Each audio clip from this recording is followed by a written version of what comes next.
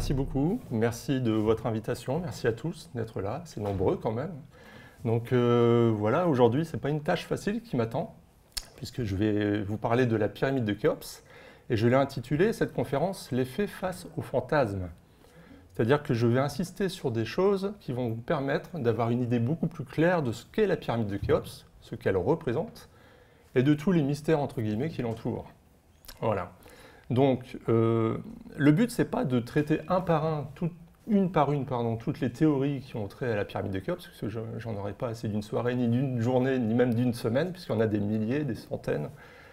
Le but, c'est vraiment de vous éclairer sur la pyramide, c'est de vous exposer ce qu'on sait. Je vais vous faire une visite guidée du complexe funéraire et une visite guidée de la pyramide en elle-même. Et je vais commenter à chaque fois, voilà, les, tous les, petits problèmes qui ont trait à chaque fois ce qu'on va voir, ce qu'on va avoir sous les yeux.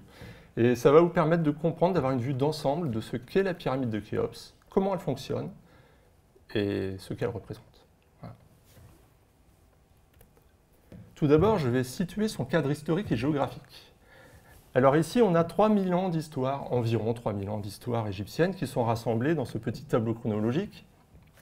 Et donc, euh, le règne de Khéops se situe ici, en vert. On est aux environs de 2500 avant Jésus-Christ. Donc l'histoire de l'Égypte, l'histoire écrite, commence environ vers 3000 avant Jésus-Christ, Et la civilisation égyptienne se termine, on considère qu'elle se termine euh, euh, à l'invasion d'Alexandre le Grand, vers 333 avant Jésus-Christ. Et donc le règne de Khéops se situe assez tôt dans l'histoire égyptienne. On est, durant, on est à l'Ancien Empire, vers 2500 avant Jésus-Christ. Et ce que j'ai encadré en rouge ici, bah, c'est l'ère des pyramides, l'ère des pyramides royales. Donc on a, dressé des grandes pyramides de Djoser jusqu'à Amosé, ici, donc durant près de 1000 ans, 1100 ans. Et géographiquement, la pyramide de Khéops se situe dans la banlieue du Caire. Donc ici, vous avez encadré ici la zone, ce qu'on appelle la zone memphite. Donc Memphis, c'est l'ancienne capitale égyptienne. Et le Caire se situe un peu au nord. Et la pyramide de Khéops se situe sur le site qu'on appelle Giza. Donc, le site de Giza est très connu puisqu'on le représente souvent, quand on parle de pyramide d'Égypte, on représente souvent le site de Giza avec ses trois pyramides, la pyramide de Khéops, la pyramide de Képhren et la pyramide de Mykérinos. La pyramide de Khéops pourrait être la pyramide la plus au nord de tout le territoire égyptien, mais il y a cette petite pyramide ici, établie par son fils, Redjedef, qui se situe à Abu. Que sait-on de Khéops? Comment se le représente-t-on? Alors tout d'abord, on ne sait pas grand-chose. C'est-à-dire que de l'histoire du règne de Khéops, on ne sait quasiment rien. Et ce qu'on en sait, c'est seulement des choses qui ont été rapportées beaucoup plus tard par l'historien grec Hérodote au IVe siècle avant Jésus-Christ. Et Hérodote, ce qu'il en sait, lui, c'est euh, ce qu'on lui a dit à l'époque. Alors, il faut savoir que d'Hérodote, entre Hérodote et Khéops, 2000 ans les séparent. C'est-à-dire qu'Hérodote sait de Khéops des choses qui ont été rapportées, déformées, des ragots. Euh, et donc une histoire qui est peu flatteuse en fait, finalement, parce qu'on lui dépeint Khéops comme un tyran. Alors il faut savoir justement que cette source est beaucoup trop tardive pour être prise au pied de la lettre. Et donc de, de comment on se le représente? On se le représente avec cette petite statuette qui est très célèbre, puisque c'est la seule représentation en trois dimensions du souverain. Alors j'ai l'habitude de dire que Khéops c'est une très grande pyramide et à côté c'est une très petite statuette qui nous le représente. Assez paradoxalement, elle est minuscule, elle ne fait que quelques centimètres de haut, elle est exposée au musée du Caire actuellement. Et cette petite statuette, on sait qu'elle est de lui parce qu'elle euh, est gravée au nom de son nom d'Horus, parce que Khéops avait aussi un nom d'Horus, l'Horus Medjedou. Voilà. Et à côté, j'ai reproduit une scène qui est beaucoup, beaucoup moins connue. C'est aussi Khéops, et, en fait, alors, malheureusement, vous voyez qu'on voit Khéops, mais son visage est complètement martelé, est abîmé avec le temps. Et ce, bas-relief a été retrouvé euh, dans les ruines de sa chaussée, de son temple funéraire qui se situe juste à côté de sa pyramide. Donc ce bas-relief a été retrouvé au XXe siècle, au milieu du XXe siècle. Voilà. Alors il existe d'autres représentations qui sont parfois attribuées à Khéops, mais vraiment on a de gros doutes là-dessus. Là, on est sûr que c'est lui. Là, cette statuette et cette représentation en bas-relief, c'est bien Khéops. Je, situe un peu la, grande pyramide euh, dans le contexte des autres pyramides. Il faut savoir que la pyramide de Khéops n'est pas une pyramide unique. Alors beaucoup de gens s'intéressent à Khéops, s'intéressent à la grande pyramide et ignorent complètement qu'il existe tout un tas de pyramides qui ont été édifiées avant et après. Alors la pyramide de Khéops se situe ici, c'est la plus haute, historiquement, hein, c'est la plus haute jamais érigée. Mais la, première pyramide, la pyramide de Djoser, se situe là. Vous voyez, elle faisait 60 mètres de haut. On a établi des pyramides à degrés, ensuite des grandes pyramides sous le règne du père de Khéops, Snefru, et enfin vient le règne de Khéops. Et ensuite, d'autres pyramides seront aussi, érigées, quasiment aussi grandes que la sienne. Et enfin, alors pour diverses raisons que je ne peux pas détailler ici parce que c'est quand même assez compliqué, mais l'ère des grandes pyramides va prendre fin, mais on va toujours ériger des pyramides de 50-60 mètres de haut. Hein. Et tout ça sur une durée de 1000 à 1100 ans. 1100 ans, pardon. Donc aujourd'hui, on se focalise sur la pyramide de Khéops. Et donc, comme je vous disais euh, en préambule, la pyramide, ça n'est pas qu'une simple pyramide, ça n'est pas un objet géométrique posé sur le désert, complètement mystérieux, et euh, sur lequel on peut voilà, étayer tout un tas de théories euh, assez, des plus sérieuses ou plus bizarres. Non, une pyramide, on est certain que c'est une tombe, ça, il n'y a aucun doute, et une tombe qui se situe au sein d'un complexe funéraire et d'une vaste nécropole. Alors si l'on reconstitue, d'après les vestiges, la pyramide de Khéops et tous les bâtiments qui l'entourent, on a cette vue ici. Voilà. Donc là, vous avez une restitution 3D du complexe funéraire de Khéops à l'époque où il a été achevé. Donc vous voyez bien que derrière, on n'a toujours pas la pyramide de Képhren ni la, pyramide de Mykérinos, puisqu'elle n'existait pas encore. Voilà. Elle siégeait seule sur le plateau de Giza. Donc, vue en plan, vous voyez ici, pyramide de Képhren, pyramide de Mykérinos qui seront bâties plus tardivement. Et donc, cette pyramide, vous voyez que bah, il y a plusieurs éléments. Il y a une chaussée, il y a un temple de la vallée, il y a un temple funéraire, il y a des pyramides de reines, il y a des mastabas, donc des tombes qui ont appartenu à des membres de la cour. Et donc, tout ça euh, est très documenté. On a retrouvé dans ces mastabas des reliefs, des inscriptions qui mentionne le nom de Khéops. On sait que ces membres de la cour ont bien vécu du temps de Khéops. Alors je commence la visite du site par euh, le, port et le temple de la vallée. Alors je reviens un peu, voilà, parce que ici, euh, ah si, on voit très bien là, vous voyez le plan du complexe funéraire, on s'y situe là. Alors tout ça, on ne voit plus aujourd'hui. Alors c'est très malheureux, euh, il faut savoir qu'au XIXe siècle, tout ça, on pouvait encore espérer en voir des vestiges ou au moins l'imaginer. Maintenant, on ne peut plus du tout, puisque le Caire et la banlieue du Caire s'est fortement développée depuis le XIXe siècle et elle est venue s'établir jusqu'au pied du plateau de Giza. Alors, si vous vous situez sur le plateau ici, en bordure, juste au, bord des mastabas, et que vous regardez vers la ville, bah, c'est tout ce que vous voyez. Alors qu'il y a 100, 150 ans, ce qu'on voyait, c'était une vaste vallée du Nil verdoyante avec des, euh, zones euh, inondées. Hein. Et donc le port et le temple de la vallée se situent maintenant sous les immeubles euh, de, la ville qui, qui, se situent juste à côté. Et figurez-vous qu'on sait ça parce que dans les années 90, au moment où cette ville a gagné en importance, au moment où on construisait les immeubles et on établissait les fondations, on a découvert des traces de murs voilà, qui ont appartenu au complexe. Alors comment on, a pu deviner que ça appartenait bien au complexe de Khéops? Puisque en fait, certains de ces murs étaient construits en basalte. Donc le basalte, c'est une roche volcanique qui est très noire et qui est vraiment caractéristique du complexe de Khéops. C'est-à-dire qu'à Giza, il n'y a que dans le complexe de Khéops qu'on retrouve du basalte, et particulièrement dans le temple funéraire.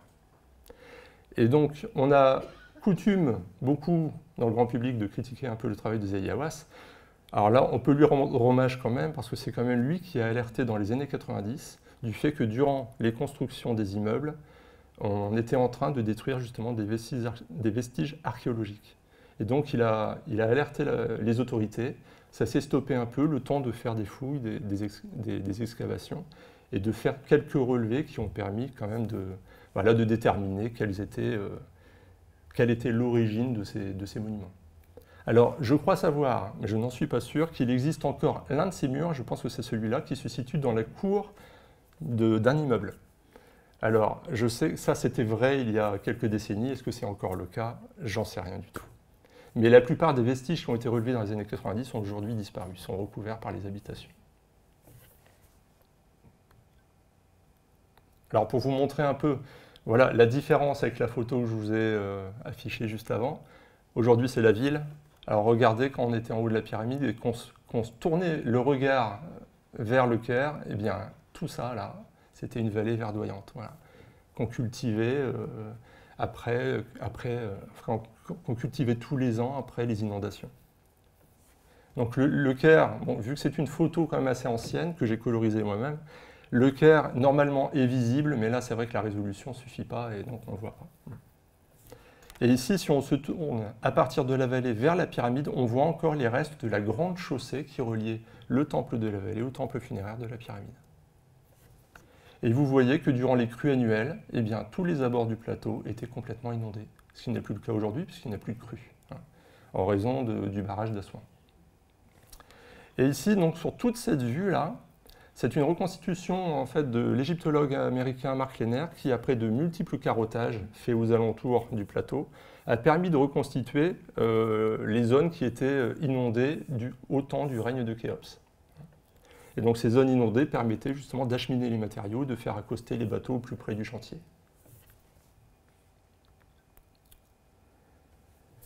Donc là, je zoome un peu, voilà, je, quitte le port, les vestiges du port voilà, qui maintenant sont recouverts par la ville, et je continue, euh, comme si j'étais un prêtre égyptien, hein, j'emprunte le je, je, rentre par le port, je rentre par le temple d'accueil, ensuite j'emprunte la chaussée qui conduit au temple funéraire. Alors vous voyez ici sur le plan, la chaussée était assez grande. Hein. Et Hérodote la compare, enfin, compare sa construction, euh, compare l'exploit de sa construction à celui de la pyramide elle-même. Il dit que la chaussée aurait euh, requis 10 ans de construction. Et cette chaussée, d'après lui, était recouverte d'inscriptions. Alors il y a de fortes raisons de le croire, ce qu'on va voir après justement, qu'on a bien retrouvé des vestiges d'inscriptions de bas-relief. Et au XIXe siècle, vous voyez que cette chaussée, eh bien, il en restait encore quand même pas mal de vestiges. Hein. Il y avait beaucoup de blocs de, taille mégalithique. Alors, je ne sais pas si vous voyez bien, mais ici, il y a un tout petit homme, là. Voilà, ça vous donne l'échelle. Hein. Voilà, ici, vous voyez, l'homme, et la taille des blocs hein, qui constituaient la chaussée. Alors, tout ça, aujourd'hui, a été en majeure partie complètement exploité par, euh, bah, par les carriers, par les constructeurs. Et euh, ce qui reste de la chaussée est aujourd'hui recouvert par quelques maisons. Alors pour vous donner un point de comparaison, pour imaginer euh, ce à quoi pouvait ressembler cette grande chaussée, là je vous montre deux chaussées qui existent toujours. Celle de gauche, ce sont les fondations de la chaussée du roi Unas à Saqqara. On peut visiter ce complexe funéraire. Alors bien sûr, les fondations ne, sont pas établies sur toute la longueur de la chaussée, parce que cette chaussée est très très, grande, hein, elle fait plus d'un kilomètre et demi de long. Mais vous voyez quand même l'importance de la construction, hein, c'est quand même quelque chose. Des fondations solidement établies, hein, qui peuvent... Alors dans le cas de Khéops, on est à plus de 20 mètres de hauteur de fondation. Et ici, c'est la grande chaussée du site d'Abouraouache, et qui existe toujours elle aussi. Voilà. Donc celle-là est très grande, et là on en voit encore... Euh, là c'est une basse talutée qui est artificielle, hein, qui a permis justement de relier le temple de la vallée au temple funéraire de la pyramide qu'on ne voit pas ici. Donc il faut s'imaginer qu'à Giza, on avait de telles chaussées qui, euh, qui reliait le temple haut au temple bas. Et donc, qu'est-ce qu'on a découvert dans, les vestiges de la chaussée de Khéops? Ça, c'est intéressant, puisqu'on entend aussi souvent dire que finalement, euh, les égyptologues admettent que la pyramide de Khéops est une tombe, qu'elle a appartenu à Khéops, alors qu'on n'a aucun élément pour le certifier. Alors, bien sûr que si. Alors, il n'y a pas que ces éléments-là, mais déjà, je vais vous établir cela. À gauche, on a des blocs qui ont été réemployés dans la pyramide d'Amenemhat Ier à Licht. Et donc, d'après l'iconographie, d'après les thèmes qui sont représentés sur ces blocs, il y a tout lieu de penser en fait que ces blocs proviennent du complexe funéraire de Khéops et qu'ils ont été euh, utilisés comme blocs de remploi. Le souverain Amenemhat Ier au Moyen Empire a fait preuve quand même d'un sacrilège assez évident puisqu'il n'a pas hésité à aller exploiter plusieurs complexes funéraires de ses prédécesseurs pour utiliser les blocs pour sa propre pyramide. Donc ici, on voit le nom de Khufu, Khufu, donc Khéops, ici aussi. Donc tout ça provient de Licht. Et ici, voilà, si on a encore quelques doutes, là, on a des blocs qui proviennent bien du complexe funéraire de Khéops. Et si on les compare, on a vraiment le même style, le même style de bas-relief. Et là, on a la représentation que je vous ai montrée tout à l'heure, donc Khéops, avec la couronne rouge. On a une tête de massue avec le nom de Laurus Medjedou, donc le nom de Khéops, le nom d'Horus de Khéops. Et ici, alors je vais essayer de zoomer un peu, si j'y arrive, voilà. On a un bloc qui a été découvert aussi sur le site de la pyramide et qui décrit euh, des fêtes jubilaires.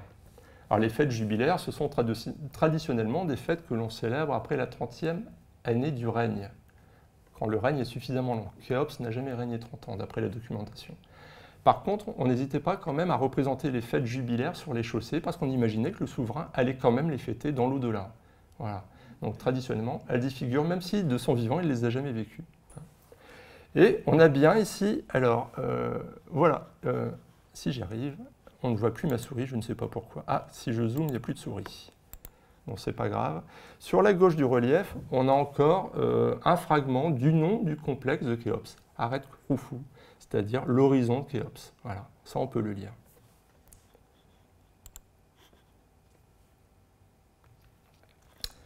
Donc nous avons emprunté la chaussée, nous arrivons au temple funéraire de la pyramide. Et ce qu'il en reste aujourd'hui, c'est quasiment rien. C'est-à-dire que si vous n'êtes pas documenté et que vous visitez un peu en touriste léger euh, le complexe funéraire, que vous n'êtes pas guidé par quelqu'un, et que vous allez sur les lieux, vous allez sans doute marcher à un endroit, vous allez traverser le temple funéraire sans vous en rendre compte. Parce qu'aujourd'hui, il n'en reste que le pavement de la cour. Voilà, ça, un pavement en basalte. Je vous ai parlé du basalte tout à l'heure. Une roche très sombre, très sombre et opaque, qui, durant son règne, couvrait le temple funéraire. Euh, on a pu, il y a quand même eu des fouilles hein, qui ont été faites dans ce temple qui ont permis d'en proposer une reconstitution fidèle. Il faut savoir que jusque dans les années 40, ce temple était recouvert par une route.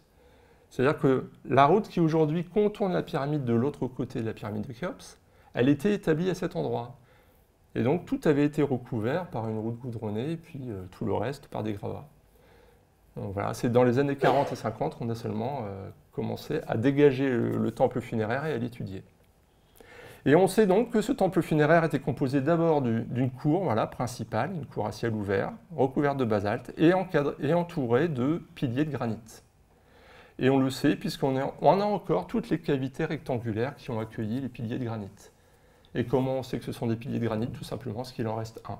Voilà. il reste un, un gros fragment de pilier et un petit fragment d'un second. Voilà ce qui nous a permis de reconstituer le temple. Alors dans ce temple funéraire, on célébrait bien sûr le culte, le dépôt d'offrandes pour que euh, l'esprit du pharaon puisse renaître dans les cieux et tous les jours accomplir son cycle rituel de renaissance. Voilà, le plan du temple funéraire. C'est la première fois dans un complexe funéraire de l'Ancien Empire qu'on a un temple aussi développé pour, euh, euh, effectuer le culte. Alors pour certains qui auraient eu la chance déjà de visiter le site, on arrive à un endroit du temple où euh, on se trouve près d'une voilà, grande fosse comme ça. Beaucoup de gens se posent des questions sur ce trou, parce que c'est vrai qu'on ne le commande jamais, personne n'en parle. Et du coup, ça a fait naître aussi pas mal de théories. L'une d'entre elles nous dit qu'on aurait une porte, un passage secret qui mènerait aux appartements funéraires de la pyramide. Alors, ce n'est pas du tout le cas. Hein. Alors ici, ce qu'on voit, c'est une porte justement qui conduit à cette fosse. Et cette fosse, c'est tout simplement une tombe d'époque saïte, c'est-à-dire qu'on est au 6e, 7e siècle avant Jésus-Christ. Donc ça, c'est une tombe tardive qui a été établie à l'endroit du temple funéraire de Khéops, à un moment où le temple funéraire avait déjà été démonté depuis très longtemps. Continuons notre visite et maintenant écartons-nous un peu de la chaussée du temple et attardons-nous un peu ce qu'il y a autour, les petites tombes, les pyramides de Rennes et surtout sur cette petite cache qui a été trouvée dans les années 20. Alors ici on a trouvé un véritable trésor hein, au sens littéral. Hein. Vous voyez, euh, dans cette petite cache, on a euh, trouvé les objets qui sont ici photographiés. Tous ces objets sont aujourd'hui exposés au musée du Caire. Cette cache a appartenu à la reine Étépérès Ier, la mère de Khéops, la mère du souverain lui-même. Voilà. Et, cette cache se, composait d'un puits très profond. Et au fond de ce puits, on avait un petit réduit, un petit espace dans lequel on avait entreposé plein d'objets précieux, comme ça, des chaises à porteurs, des chaises, un lit à baldaquin, euh, des vases en albâtre, des coupes, etc. Enfin, des bijoux, il y avait vraiment de toutes sortes. Et on comprend très bien que ça provenait d'une tombe. Il y avait même un sarcophage dans cette cache. Dans cette cache. En revanche, le sarcophage, une fois ouvert, on a découvert qu'il était vide.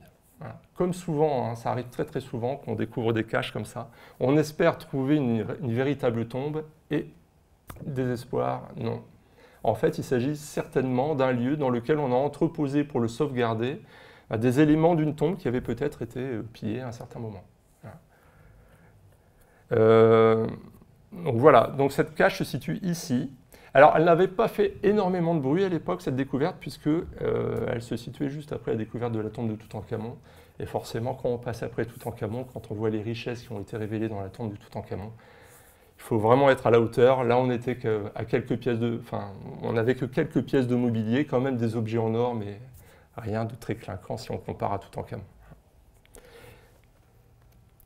On suppose que cette reine, la reine Pérès Ier, a été inhumée dans la pyramide qui se situe à côté. Donc la cache, vous voyez là, ce que je viens de vous décrire, se situe là, dans un puits. Donc il est fort possible que la reine ait été inhumée dans la pyramide qui se situe juste à côté. G1A. Alors on appelle G1A, G1B, G1C les trois pyramides de Rennes qui, euh, qui, ont, gravité autour de la pyramide de Khéops. Ce sont quand même de belles petites pyramides, hein, si vous les voyez aujourd'hui, il y en a une qui est très ruinée. C'était la plus grande à l'origine, mais c'est la plus ruinée. Et les deux autres sont dans un relatif bon état. Et euh, ce sont des pyramides qui font une cinquantaine de mètres de côté, hein, ce qui est quand même assez honorable pour des reines, c'est assez important. Et vous voyez les distributions, les appartements funéraires sont tous assez normés quand même, hein, ils se ressemblent. On a une descendrie, une antichambre, et puis après une chambre. Et tout est souterrain. Alors, euh, on a la possibilité maintenant de visiter ces, pyramides de Rennes. je, vous, conseille, je vous conseille de le faire, c'est assez intéressant. C'est un peu acrobatique à la fin, a une échelle en fer un peu à escalader pour arriver dans la chambre funéraire, mais c'est assez intéressant de voir les difficultés auxquelles ont été confrontés les constructeurs pour établir de tels appartements se sont embêtés à, creuser et ensuite à remaçonner à l'intérieur de ce qu'ils avaient creusé. Et donc il leur a fallu après réintroduire de gros blocs et à faire en sorte qu'ils soient très bien jointoyés. Là on voit très bien, on, observe vraiment le travail qualitativement euh, des ouvriers égyptiens. Vous voyez ici on est dans une de ces chambres funéraires avec l'échelle d'accès là. Donc c'est complètement souterrain et en fait la chambre vous voyez qu'elle était appareillée sur tous les murs par des blocs en calcaire. Ce qui fait qu'au final, c'était assez réduit, hein. c'était vraiment un petit espace funéraire. Donc voilà, ça, ce sont les trois pyramides de Rennes qui sont ici. On a ici une petite pyramide satellite. Alors on différencie pyramide de Rennes et pyramide satellite, puisque les pyramides satellites, on ne sait pas encore vraiment à quoi, euh, euh, quelle était leur fonction. C'est toujours sujet à débat. On imagine que c'était une petite pyramide d'ordre symbolique qui était destinée à abriter le cas du pharaon, donc l'esprit, une partie de l'esprit du pharaon, mais c'est complètement gratuit. On n'a aucun indice qui nous permet vraiment de, s'assurer de ça. En tout cas, on dirait une sorte de petit modèle réduit à chaque fois de la pyramide principale, puisqu'elle possède la même pente. En revanche, les appartements funéraires sont très très simples. Alors vous voyez ici, cette petite pyramide satellite, l'intérêt c'est qu'elle est complètement arasée. Elle a été découverte que dans les années 90 par les équipes de Zayawas. Et complètement arasé, du coup, on a, vous voyez, les appartements funéraires qui sont complètement à ciel ouvert. Donc vous voyez la petite descendrie là, et la chambre principale. Et fait assez exceptionnel, on a retrouvé son pyramidion, c'est-à-dire le petit chapeau qui venait la couronner. Alors exceptionnel, puisqu'en fait, on n'en a vraiment pas découvert beaucoup de cette époque.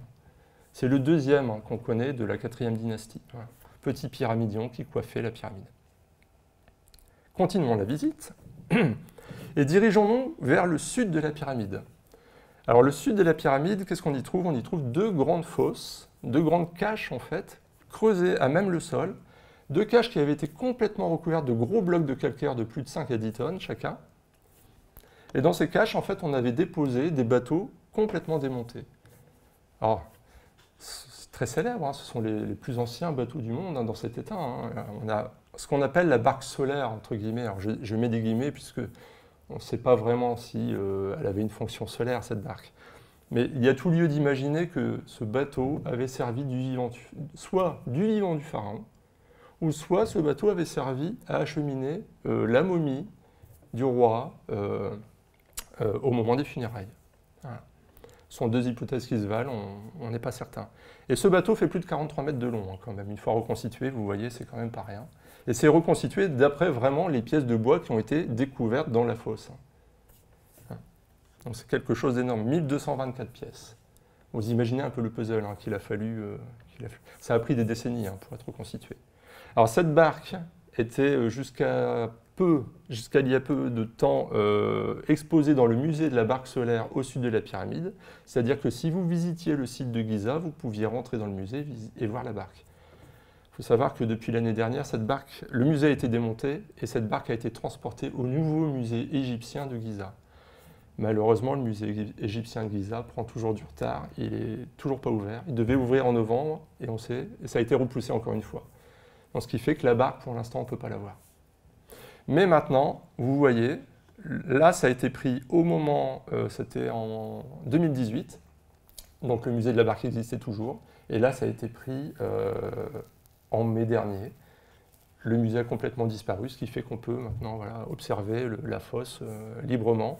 Et la deuxième fosse, là, qui se situe juste derrière, elle a seulement été ouverte et extirpée de tout ce qu'elle contenait il y a quelques années.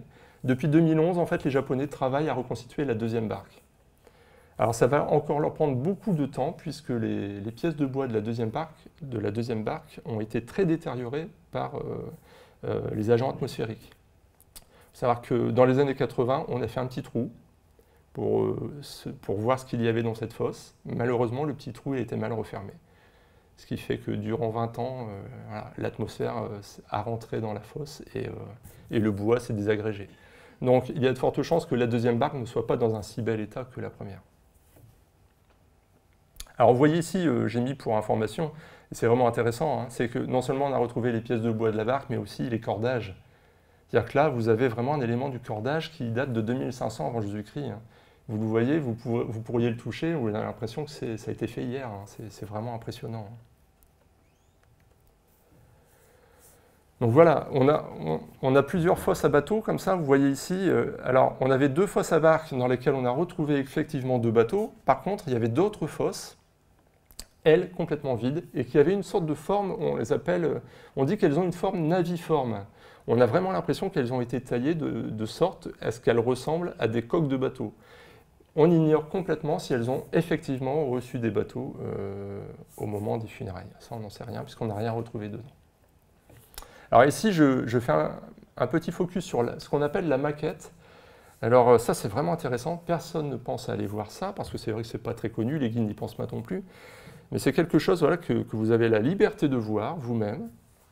La maquette, c'est quoi? Vous voyez, vous avez une vue en coupe, avec euh, un petit personnage qui donne l'échelle. Et ça se situe juste, euh, juste à l'est de ce qui reste du temple funéraire. Et si vous déambulez là, bah, vous allez voir ça. Alors c'est quoi ça? Bah, C'est ça, c'est cette partie-là. Et en fait, quand on a une vue en coupe, on se rend compte que c'est en modèle réduit les appartements funéraires de Khéops. En, tout cas, une partie des appartements funéraires. Vous avez l'entrée ici. Vous avez la jonction, alors on va le voir après ça, une jonction au bloc bouchon. Et vous avez le bas de la grande galerie qui se situe là, avec une amorce du couloir horizontal ici, mais qui n'a jamais été euh, continuée. Et là, vous avez le couloir qui continue, en souterrain. Alors ici, ça mène à une chambre funéraire. Là, ça s'arrête. Alors, c'est quoi cette maquette?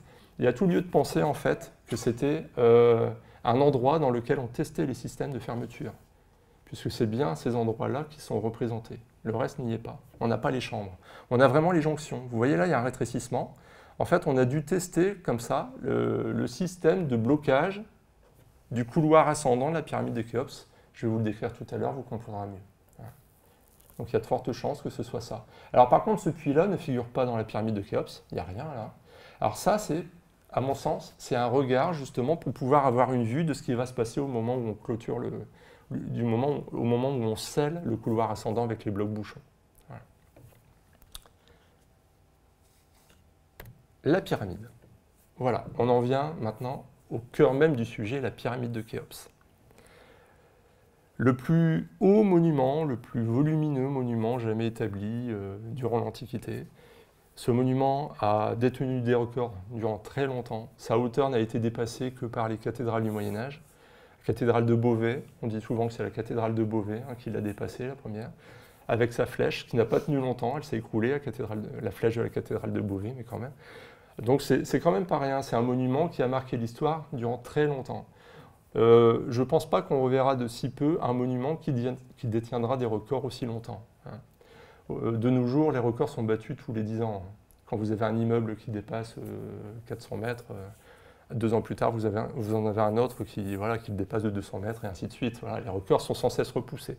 Là, on avait vraiment fait très fort, hein, avec les moyens de l'époque. Donc l'aspect extérieur, c'est quoi? Là, vous avez une vue de profil. Alors j'ai tenu à souligner, voilà, un profil euh, assez classique, avec une pente d'environ 51 degrés, et euh, une hauteur de 146, je, dis toujours approximativement, je ne vais pas parler au centimètre près, excusez-moi, mais je pense que ça suffira. Une hauteur d'origine d'environ de 146,5 mètres. Aujourd'hui, elle n'est plus que de 138,7 mètres, puisque la pointe a été exploitée par les carriers du Moyen Âge.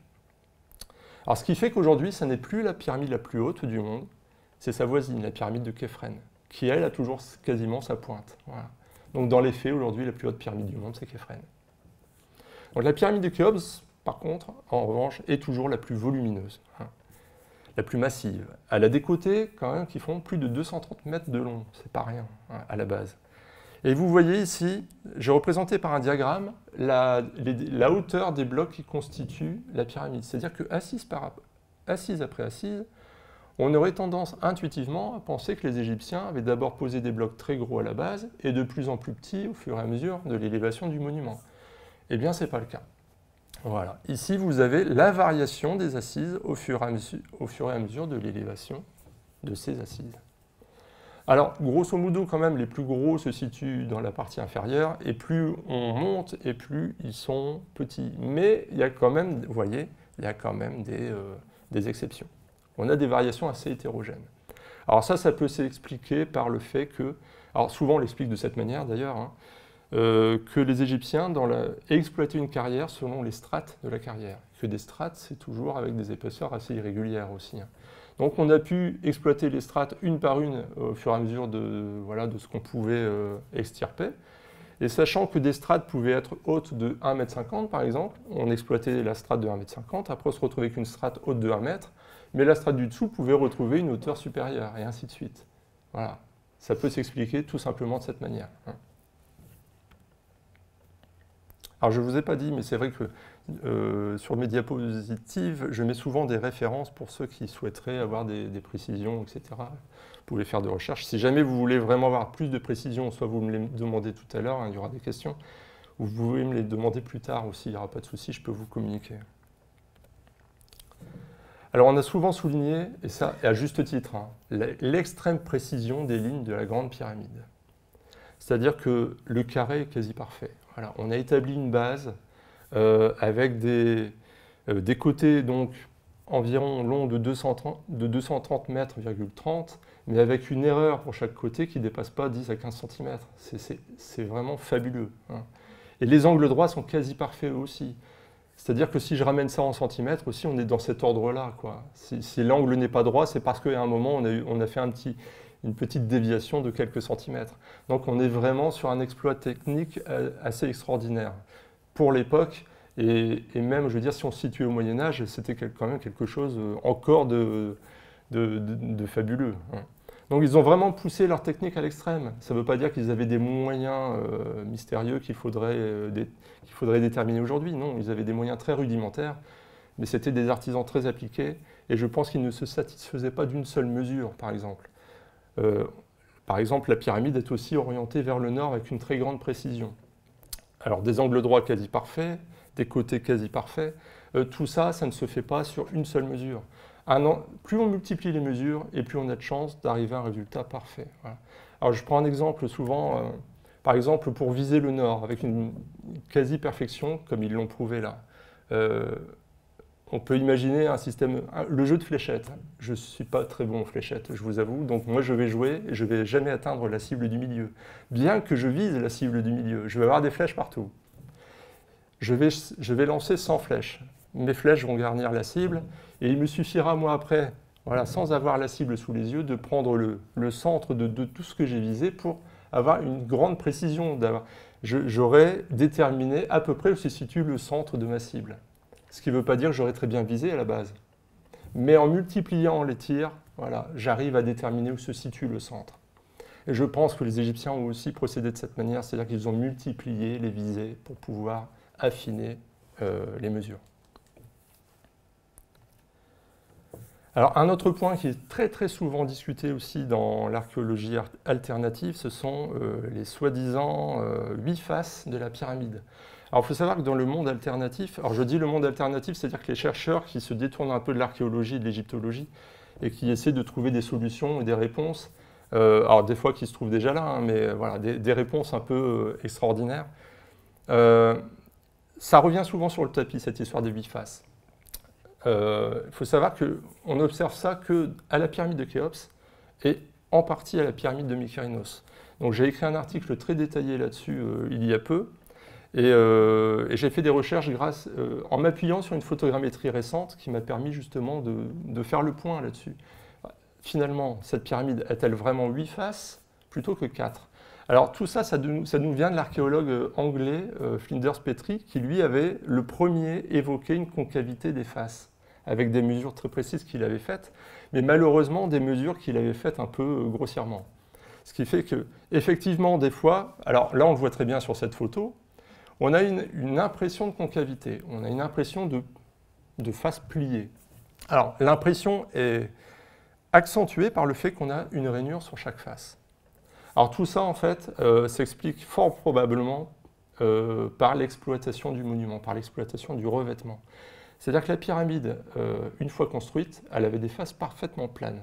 Et ça, on le sait, puisqu'il existe encore des blocs de parement à la base de la face nord. Et si on fait un tracé, on voit très bien que la ligne est rectiligne. Il n'y avait pas de concavité à l'origine. La concavité n'est apparue qu'au Moyen Âge, à partir du moment où on a exploité le parement. Et fait curieux, alors ne me demandez pas pourquoi, il y avait sans doute une raison euh, qui, justifiait ça à l'époque, mais les, Arabes du Moyen Âge, les Égyptiens du Moyen Âge, exploitaient les monuments de Giza, en tout cas, du bas vers le haut. Et ça, on l'observe chez Képhren. À la pyramide de Képhren, vous avez tout le revêtement du bas qui a été exploité, vous avez encore le revêtement du haut. Et donc, si on fait une simulation toute bête, ça, c'est une simulation qui a été faite avec un tableur Excel, et j'ai simplement dit à mon tableur Excel, voilà, sur chaque assise, on va considérer qu'il y a eu un impact de tous les blocs qui ont des vallées au-dessus. Mais en partant, hein, comme si on démontait la pyramide du bas vers le haut. Et qu'est-ce qu'on observe? Eh bien, voilà, Les impacts sont beaucoup plus forts au, centre, et c'est logique, puisqu'en fait, il y, a beaucoup plus de blocs qui dévalent au centre que sur les côtés. Donc on a une sorte de, comme ça de concavité qui va venir se créer, qui, est finalement qui est due à des dégradations hein, dues à l'homme. Et, si on la compare à une laser métrique qui a été faite il y a quelques années, ben vous voyez que ça ressemble quand même. Si on compare la simulation au fait, voilà, on a une concavité complètement hétérogène, hétérogénéité qui est due justement au fait qu'on a des blocs de hauteur différentes, de taille différentes. Donc forcément, on ne va pas avoir quelque chose d'uniforme, d'homogène. Mais vous voyez ici qu'avec la lasermétrie, on voit bien que c'est très abîmé sur les centres, très peu sur les côtés, et une photogrammétrie, une photogrammétrie qui a été faite en 2018 le montre très bien. Voilà, j'ai fait des relevés, euh, j'ai pris tout un tas d'assises comme ça, j'ai fait des relevés, et il n'y a aucune pliure nette. Il n'y a pas de concavité euh, de type 8 faces plutôt que 4. C'est une concavité, certes, qui existe, ça je ne la nie pas, mais elle est vraiment due à la dégradation du monument, aux interventions humaines. Donc elle fait partie de l'histoire récente du monument, finalement. La composition de la pyramide, la pyramide c'est vrai, euh, on parle souvent de blocs parfaits, euh, taillés au centième de millimètre près, de blocs euh, de granit qui viennent de très loin. C'est vrai, il y a des blocs de granit dans la pyramide qui viennent de très loin, qui viennent d'Assouan. Mais comme je l'ai indiqué, vous voyez, la majorité de la pyramide est constituée de calcaire nummulitique. Alors nummulitique, ça veut dire quoi? Qui contient des nummulites, c'est-à-dire des microfossiles. Donc tout ça, c'est naturel. Et cette photo-là, je l'ai prise à un endroit euh, à l'ouest de la pyramide, à un endroit où on voit encore les saignées. C'est un, vestige de carrière qui a, été exploité durant le règne de Khéops. Et j'ai pas pris de microscope, hein, c'est une photo voilà, qui a été prise sans zoom, sans rien. Hein. On voit ces numulites comme ça à l'œil nu. Hein. Ça fait euh, de quelques millimètres à quelques centimètres de long. Donc c'est un calcaire très grossier comme ça. C'est des sédiments qui, se sont accumulés euh, durant les millions, d'années. Et euh, ça, ça constitue la majorité du monument. Par contre, le granit, lui, était utilisé dans la chambre funéraire du roi, et il ne constitue que 0,001% de la masse totale de la pyramide. C'est très peu. Hein. Et le calcaire de Toura, le calcaire fin, qui vient euh, de l'autre côté du Nil, lui, ne constitue que 0,04% euh, du volume total de la pyramide. D'accord? Donc le calcaire, lui, le calcaire des blocs de Parement venait de Toura, donc de l'autre côté du Nil. Par contre, ce calcaire nummulitique, lui, provenait vraiment des abords de la pyramide. Donc, le problème du transport des blocs euh, ne se posait que pour une infime partie du monument. L'essentiel était sur place. Voilà, une vue en coupe de la pyramide. Alors c'est vrai qu'on reproduit souvent cette vue en coupe, normal, hein, elle est très illustrative. On voit très bien comment sont disposés les appartements vis-à-vis des, les uns vis-à-vis des autres. Et, du coup, ça nous donne une, image un peu faussée de, comment ils sont vraiment disposés. Vous regardez, si j'ai cette vue en coupe là, euh, nord-sud, et que je la compare à la vue est-ouest, ah, là, vous voyez que finalement, on a l'impression qu'on a des appartements un peu partout qui occupent tout l'espace de la pyramide, mais non, ils sont tous situés dans un même plan. Vous voyez sont vraiment situés les uns au-dessus des autres. Alors, on a la chambre, souterraine, la chambre médiane qu'on appelle la chambre de la reine, et la chambre du roi, et tout un ensemble de, un réseau de couloirs qui conduit à l'un ou à l'autre. Alors il faut savoir que la chambre de la reine euh, n'a jamais euh, servi euh, vraiment à une reine. Hein. C'est une désignation qui est née sans doute au XVIe, XVIIe siècle, parce qu'on a déjà un témoignage au XVIIe siècle qui rapporte qu'un guide décrivait cette chambre comme étant la chambre qui avait abrité la reine. Donc c'est sans doute une invention de guide euh, qui essayait de donner des explications euh, aux touristes, aux occidentaux qui, faisaient le périple. Hein, ça ne sera pas la seule des inventions. Hein. Alors les guides de l'époque n'hésitaient pas à dire que par exemple dans la chambre de la reine, il y avait un petit couloir qui menait au sphinx. Ils agrémentaient tout ça d'un peu de piment. Il fallait pimenter. Hein. Ce qu'on fait toujours finalement. Il y a beaucoup de choses à la télé qui passent. On pimente. Voilà, c'est un peu le, c'est le mystère, c'est ça fait vendre. Et ça attire toujours. Donc forcément, les guides, les scientifiques, les chercheurs ont toujours un petit faible pour ce, genre d'informations croustillantes. Alors, si on veut pénétrer dans la pyramide, il y a deux entrées possibles. L'entrée d'origine, celle-ci, et une sape, en fait l'entrée qui a été forcée euh, au 9e siècle après Jésus-Christ, parce que, euh, parce que, à ce que dit la tradition en tout cas, par Al-Mamoun, le calife Al-Mamoun. Donc ce petit tunnel permet d'accéder par une voie détournée euh, au couloir qui conduit aux diverses chambres. Alors l'entrée d'origine, c'est celle-là. On ne peut pas l'emprunter aujourd'hui, hein, c'est interdit. On emprunte aujourd'hui la sape d'Al-Mamoun. Et cette entrée d'origine, elle est vraiment particulière. Elle est unique. Hein. Dans toutes les pyramides, vous n'en trouverez pas une euh, équivalente puisqu'elle a été couverte par ce qu'on appelle une voûte en chevron. Une voûte en chevron, c'est une voûte avec des blocs disposés de cette manière. Alors, on a encore la chance d'observer des chevrons. Je dis la chance, puisqu'en fait, ce sont les derniers. Savoir que cette voûte était beaucoup plus grande à l'origine. Là, je, l'ai reconstituée avec tous ces chevrons. Et tous ces chevrons ont été exploités, démantelés par les carriers du Moyen-Âge. Et heureusement pour nous, ils en ont laissé deux paires. Et derrière, c'est de la maçonnerie. Alors, je vous dis, derrière, c'est de la maçonnerie parce que si on vient voir ici, on voit bien que euh, ces chevrons-là sont disposés contre une maçonnerie existante. Alors, ça pose un petit problème parce que récemment, la mission Scan Pyramide euh, a prétendu avoir décelé un couloir qui était dissimulé derrière cette voûte en chevron. Alors, mission Scan Pyramide, je vous en parlais tout à l'heure, mais là, je peux déjà, d'ores et déjà vous dire que euh, d'après des résultats de mesures qui ont été effectués entre 2015 et 2017, elle elle pense avoir démontré qu'il y a un couloir dissimulé, donc une, différence de densité qu'on interpréterait comme un vide, donc une communication qui mènerait à d'autres appartements. Alors ça pose un petit problème de logique, dans le sens où je viens de vous dire que ces chevrons étaient disposés contre une maçonnerie existante. En tout cas ceux du bas, ça c'est sûr. Ce qui voudrait dire que s'il y avait un couloir, le couloir ne commencerait pas là, commencerait plus haut. Donc ça, enfin après, c'est quand même assez compliqué à, imaginer quel est l'intérêt d'avoir un couloir qui était obstrué comme ça par une voûte qui finalement ne couvrait pas ici un passage. C'est-à-dire que le couloir devrait s'arrêter là. Ça, euh, voilà, c'est des, des, réponses qui devront être apportées. Déjà, il faut des mesures beaucoup plus fines. C'est-à-dire que pour l'instant, on sait qu'il y a une différence de densité derrière. En tout cas, c'est ce que Scan Pyramide prétend. Maintenant, il faut savoir quelle est la nature de cette différence de densité? Est-ce vraiment un vide ou est-ce tout simplement des matériaux beaucoup plus euh, meubles, comme du sable, du gravier, voilà, qui ont permis de combler des espaces de construction? C'est mon avis. Maintenant, voilà.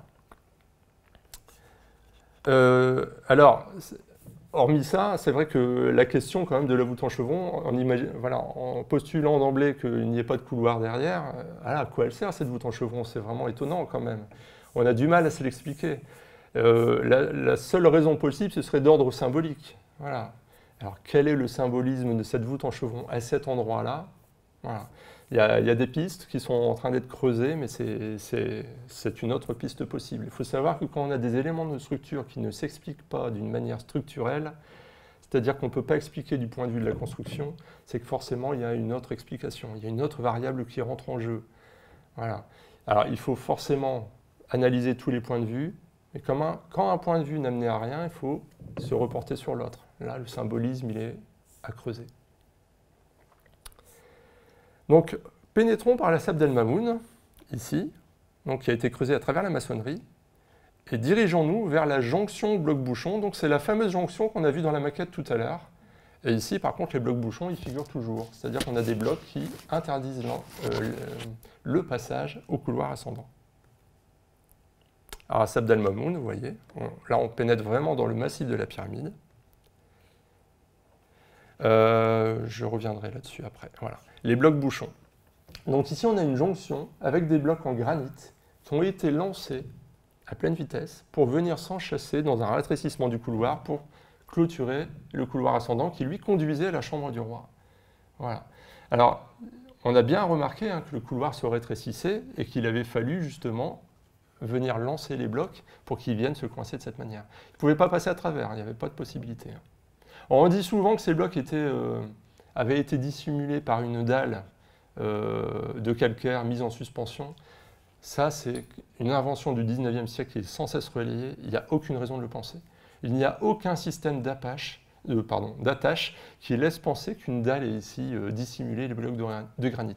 Il y a tout lieu de penser au contraire que les blocs de granit étaient visibles. C'est-à-dire que si vous entriez dans le couloir, bah, vous voyez au plafond, qu'il y avait des blocs de granit et vous saviez qu'il y avait un couloir qui, était, euh, qui se situait derrière.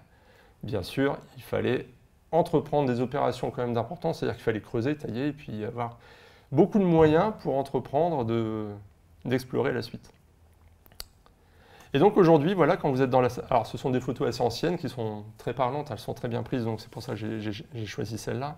Là, si vous continuez vers le bas, vers la chambre souterraine, vous voyez ça. Voilà, ça c'est le couloir qui continue à la chambre souterraine. Les blocs, bouchons se situent au-dessus de, votre tête. Par contre, quand vous venez de la Sab d'El Mamoun, donc l'entrée actuelle, eh bien vous passez ici, là vous voyez les blocs bouchons, et le couloir ascendant qui se dirige vers la chambre du roi. Donc vous êtes obligé de monter. Alors aujourd'hui, je vous rassure, c'est quand même bien plus praticable, ça a été aménagé. Là, c'était au début du XXe siècle, c'était euh, assez acrobatique. Alors, on ne va pas monter tout de suite, on va continuer notre périple, on va descendre toute la descendrie. Alors il faut savoir quand même que euh, cheminer dans une descendrie de ce type, c'est vraiment pas, euh, facile, c'est du sport, et il ne faut pas avoir de problème de dos. Hein. Parce que les couloirs des pyramides, d'une manière générale, ne sont pas plus hauts de 1m20. Donc ils vous obligent toujours à vous incliner. Alors, vous êtes incliné, et en plus, vous avez une descendrie, alors ce qu'on appelle une descendrie hein, d'une manière classique, donc un couloir descendant, qui est incliné, lui, d'environ 25 degrés. Alors vous imaginez un peu, 25 degrés c'est beaucoup. Hein. Sachant que quand il n'y a pas de marche, vous êtes sur un sol glissant. Alors il faut s'accrocher. Alors la descente, ça va encore. Mais après, il faut le remonter, les 25 degrés, sur un sol glissant. Hein. Faut s'accrocher sur les parois. Et là, figurez-vous que cette descendrie, elle a fait une centaine de mètres de long. Donc voilà. Alors, pour vous, c'est pas facile déjà de la visiter. Alors, euh, je dis pour vous, en fait, elle n'est pas visitable, malheureusement. Hein. Mais quand on la visite, c'est déjà du sport. Mais imaginez un peu les ouvriers de l'époque qui ont dû creuser cette descendrie sur plus d'une centaine de mètres avec un tel angle. C'est-à-dire qu'un seul ouvrier à la fois pouvait creuser. Par contre, derrière, il fallait des ouvriers pour dégager, euh, pour extirper les matériaux qui avaient été euh, creusés, taillés. Et en plus, il y avait le problème de l'oxygène. Quand vous arrivez aussi au bout de 80 mètres dans le sol, que vous travaillez dans la poussière, que vous devez aussi avoir un peu de lumière. Parce que l'air de rien, il fallait quand même contrôler l'alignement de cette descendrie. Elle est parfaitement alignée avec l'extérieur. Il n'y a pas de déviation.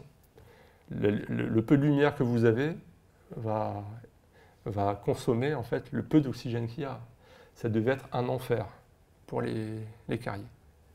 Alors il arrive un moment, ils ont été obligés de creuser un puits pour relier à l'air libre voilà, l'extrémité de cette descendrie. Là, ils étaient obligés. parce qu'il arrive un moment, voilà, on doit creuser un couloir horizontal et enfin creuser une vaste salle pour en faire une chambre funéraire. Alors cette salle-ci, elle fait plus de, euh, elle fait, euh, fait plus de, elle fait environ 15 mètres de long sur 5 mètres de large, sur 8 mètres de large, pardon. Donc c'est quand même quelque chose d'assez conséquent. Donc là, à partir de ce moment-là, on peut être à plusieurs ouvriers pour tailler dedans. Mais par contre, il n'y a toujours pas d'oxygène.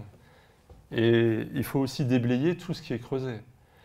Donc voilà, là on est au début du règne, c'est-à-dire que le roi, à partir du moment où il monte sur le trône, dit voilà, il faut construire, il faut, je vais établir ma pyramide. Il faut d'abord que les architectes lui proposent un projet valable, donc ça prend du temps, et ensuite il faut la construire. Mais là le problème c'est qu'il avait décidé au départ d'avoir une chambre souterraine. Tout était souterrain, ce qui veut dire qu'on est obligé d'attendre que tout soit terminé pour établir les assises de la pyramide. Sachant qu'on voulait faire la plus grande pyramide jamais établie, que le règne, on ne savait pas combien, de temps il allait euh, durer. Le pharaon, quelle était sa santé Il était peut-être en bonne santé un moment, mais pouvait-on s'assurer qu'il soit encore en bonne santé 30, 40, 50 ans? Ça, c'était pas dit. Donc il fallait quand même à un moment donné que la pyramide, elle s'engage. quoi. Hein. Donc c'est sans doute, moi je pense que c'est pour cette raison qu'on a abandonné la chambre souterraine. Elle est inachevée. Alors là, vous, voyez, vous avez des photos hein, de la descendrie. Et là, c'est l'accès à ce puits là qui, reliait euh, le bas de cette descendrie a l'air libre à un moment donné. Et là, c'est le bas de la descendrie. Voilà. Et donc ça, c'est la chambre souterraine, vous voyez. Voilà. Alors j'ai mis une photo d'un appartement funéraire d'une petite pyramide de Rennes, une, de celles qu'on a vues tout à l'heure, pour vous montrer un peu quel était le principe de creuser une chambre souterraine comme ça. On devait complètement évider l'espace, faire une sorte de, gros cubes allongés comme ça, dans lequel on allait maçonner ensuite. Donc c'était déjà une chose de tout creuser, de tout tailler, mais en plus on allait euh, acheminer des blocs jusque-là pour tout remassiner, habiller les murs, pour qu'on ait vraiment une, chambre euh, funéraire proprement bâtie, de, la même manière qu'on a bâti les, chambres funéraires des pyramides de Rennes. Donc au final, l'espace devait être plus petit. Mais tout ça, ça n'a jamais été fait, ça a été abandonné. Alors je vais dire un mot aussi sur euh, ce puits qui existe dans cette chambre souterraine. C'est un puits qui est assez récent. Il a été creusé au début du 19e siècle par les explorateurs parce qu'ils ont été influencés par les récits d'Hérodote. Hérodote, qu'est-ce qu'il a raconté?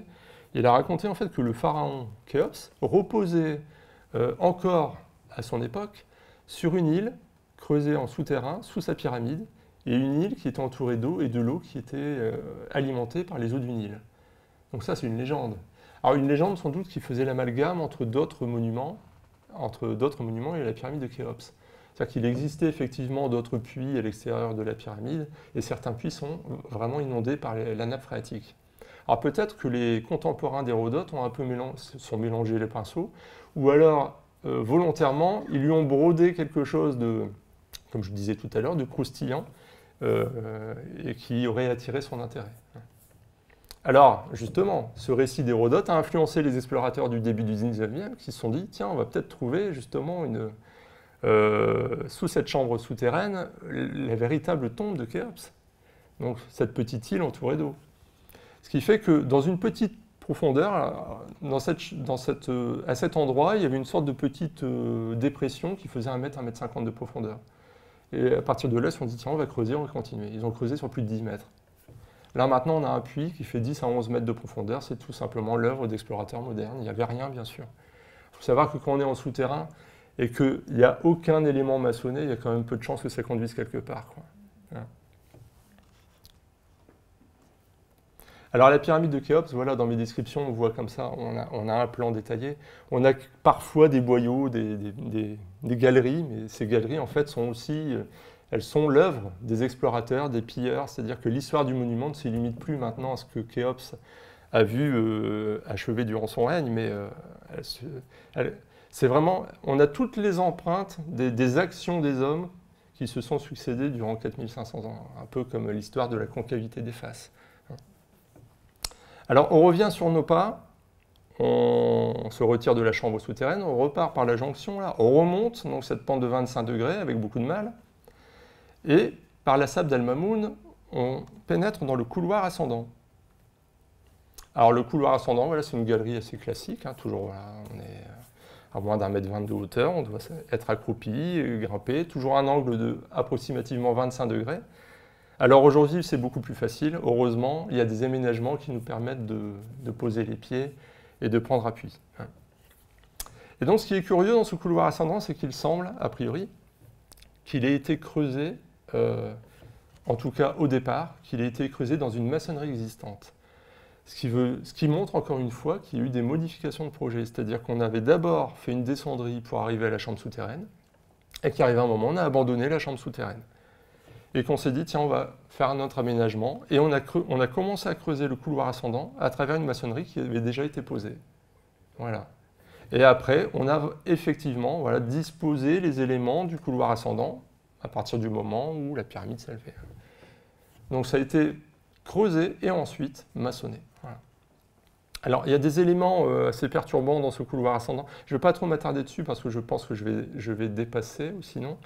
Euh, voilà. Donc, il y a des, ça a été discuté par Gilles Dormion. Il y a des, histoires de joints assez particuliers. C'est vrai qu'il y a des, des, choses qui posent question dans ce couloir ascendant. Peut-être des empreintes d'anciens dispositifs. Bon, voilà, ça, c'est, ce sont des détails sur lesquels, si vous voulez, on, on en reparlera tout à l'heure. Donc, quand on arrive en haut de ce couloir ascendant, voilà, on a un peu mal aux jambes, mais on est content quand même de pouvoir se relever, ce qui n'est pas courant dans les pyramides. Et là, voilà, on arrive dans une grande galerie et on peut enfin marcher debout. Et donc, cette grande galerie, qu'est-ce qu'elle a de particulier? Eh bien, elle est majestueuse, voilà, et on, le dit souvent, on le souligne, et c'est normal. C'est quelque chose d'assez atypique hein, dans une pyramide. Puis c'est une sorte de couloir plus large que, que ce qu'on remarque d'habitude, c'est-à-dire qu'il est deux fois plus large que le couloir ascendant. Et le fait qu'il soit plus large, bah, ça a impliqué de devoir le couvrir par une voûte. C'est-à-dire que euh, traditionnellement, les couloirs qui font environ 1 mètre, 1 mètre 05 de large, donc dans les pyramides, sont couverts par des linteaux, de très lourds linteaux. Voilà. On ne se, pose pas de questions. Mais à partir du moment où on a un espace un peu plus large, on oublie le linteau, on doit faire des voûtes. Parce que le linteau risque de se fissurer, un peu de s'affaisser, etc. On veut l'éviter, ça c'est normal. Donc on couvre les grands espaces par des voûtes. Là, c'est ce qu'on a fait. Alors pourquoi il était plus large ce couloir? Tout simplement parce qu'il a servi de glissière pour lancer les blocs bouchons qui sont venus clôturer le couloir ascendant. Alors on voit bien ici cette glissière, vous voyez là, ça, ce, petit boyau central, en fait, il prolonge proprement le couloir ascendant, hein, d'où on provient. Même largeur. Voilà, donc les blocs bouchons étaient entreposés là, et on a dû les envoyer à pleine vitesse dans le couloir ascendant pour qu'ils viennent se loger tout en bas. Alors ici, on a tout un système de cavités tout au bord de, cette grande galerie. Alors tout ça, c'est vrai que ça pose beaucoup de questions. Il y a plein d'éléments comme ça assez curieux. Alors, il faut savoir que cette voûte, je vais revenir peut-être euh, sur le plan. Voilà. Vous voyez, cette voûte, ce couloir, cette grande galerie, euh, elle est haute de 8,6 mètres. Elle est longue de 47 mètres environ. Et en plus, elle est très inclinée, aussi environ, on est dans les 25-26 degrés. Eh bien en fait, vous voyez que du départ, au début, au moment où on a commencé à construire cette grande galerie et au moment où on a terminé, eh bien on a environ 20 à 30 mètres de maçonnerie. 20 à 30 mètres d'assises de pyramide à établir. C'est-à-dire que la construction de cette grande galerie a dû s'étaler sur plusieurs années. Et donc on avait une grande voûte en encorbellement à construire qui qui a attendu ses clés de voûte en fait durant des années. Et comme toute voûte, une voûte, tant qu'elle n'est pas terminée, elle ne tient pas. Donc il faut un échafaudage, il faut un cintre, il faut quelque chose qui maintienne le tout. Donc il y a de fortes chances que toutes ces cavités aient permis justement de, venir enchasser euh, les, les, pieds d'un vaste échafaudage. Un échafaudage de construction. Ici, on a le bas de cette grande galerie. Alors vous voyez ici, là, c'est le couloir ascendant d'où on vient. Et là, on a une sorte de palier. Et on a encore les traces, là, on a des cavités sur les côtés qui nous montrent que on avait des poutres qui venaient supporter un plancher provisoire en bois parce qu'il fallait justement que ces blocs bouchons, pardon, il fallait que ces blocs bouchons euh, puissent franchir ce palier. Sinon, vous allez tomber dans le trou. Alors, je me remets un peu sur la vue là. Vous voyez là, la grande galerie, on peut continuer vers la chambre du roi, mais aussi on peut continuer tout droit vers la chambre de la reine. Et là, on a une vaste dépression voilà, qu'il fallait combler qu'un palier provisoire pour que les blocs bouchons puissent passer et venir, euh, venir glisser jusqu'au couloir ascendant. Voilà, on, reste au niveau du palier de cette galerie, on ne monte pas tout de suite, on va emprunter le couloir horizontal qui lui mène à la chambre de la reine, entre guillemets, parce qu'on sait qu'il n'y a pas eu de reine. Alors ce couloir horizontal, il a fait énormément parler de lui dans les années 80. Alors pourquoi? Parce qu'en fait, on a, ça a été le théâtre d'expéditions, d'explorations et de missions d'investigation tout à fait inédites pour l'époque. C'est là qu'ont commencé les, premiers, les, premières, euh, comment? Les premières missions de mesure, euh, de microgravimétrie, euh, en, bref, de, de, techniques modernes qui permettent d'essayer de deviner ce qu'il y a derrière. Voilà. On détecte. On essaie de voir s'il y a des différences de masse, des singularités. Et la microgravimétrie pardon, permet de, savoir, de détecter là où il y a des matériaux plus légers et là où il y a des matériaux plus lourds. Alors c'est très intéressant, c'était vraiment révolutionnaire pour l'époque. Et, euh, et qu'est-ce qui s'est passé? Ben, C'est que justement cette mission, qui, était une mission française, euh, inspirée par les travaux de Gilles Dormion, qui est célèbre pour toutes ces théories de, chambres dissimulées, euh, eh bien en fait ces, missions de détection ont, affirmé qu'elles avaient détecté des espaces. Voilà. Alors je ferai un peu le parallèle avec Scan Pyramide tout à l'heure justement, parce que c'est vraiment intéressant. C'est une continuation, un Scan Pyramide de tout ça. Hein. Finalement c'est quelque chose qui ne s'est jamais arrêté. Euh, et donc à l'époque, on était sûr, les, responsables de cette mission étaient sûrs à quasiment 100% qu'il y avait un espace, qu'ils avaient découvert quelque chose dans ce couloir horizontal. Et euh, ils étaient tellement persuadés d'être dans le vrai qu'ils avaient essayé de convaincre les autorités égyptiennes de démonter euh, tous les blocs du couloir pour pouvoir accéder à cet espace qu'ils avaient découvert. Alors les autorités égyptiennes ont envisagé de démonter les blocs, sont revenus sur leur position quand même en réfléchissant en se disant, bon, on va peut-être être prudent quand même, on va d'abord faire des forages. Alors heureusement, ils ont été prudents, parce qu'en faisant les forages, alors j'ai mis l'emplacement des forages ici, et ici j'ai représenté ce que, voilà, ce que, ce qu'ont traversé ces forages. Et bien ces forages voilà, ont permis d'arriver jusqu'à la zone de possible anomalie qui avait été détectée, et finalement ce forage n'a fait que traverser de la maçonnerie et des éléments de construction. Mais ce qui a été intéressant, c'est qu'eux ne l'avaient pas anticipé, c'est qu'eux, dans leur simulation, ils avaient euh, justement euh, considéré que la maçonnerie était compacte, homogène. Ce qui fait qu'ils n'avaient pas anticipé qu'il y avait des matériaux différents, des matériaux plus légers, et que ça pouvait être à l'origine de leur mesure.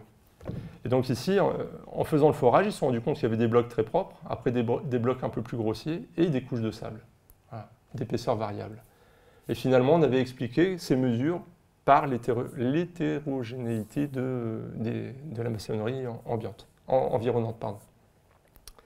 Donc voilà, tout ça, ça, justement, ça permet de relativiser un peu et de, prendre avec prudence tout ce qu'on nous annonce.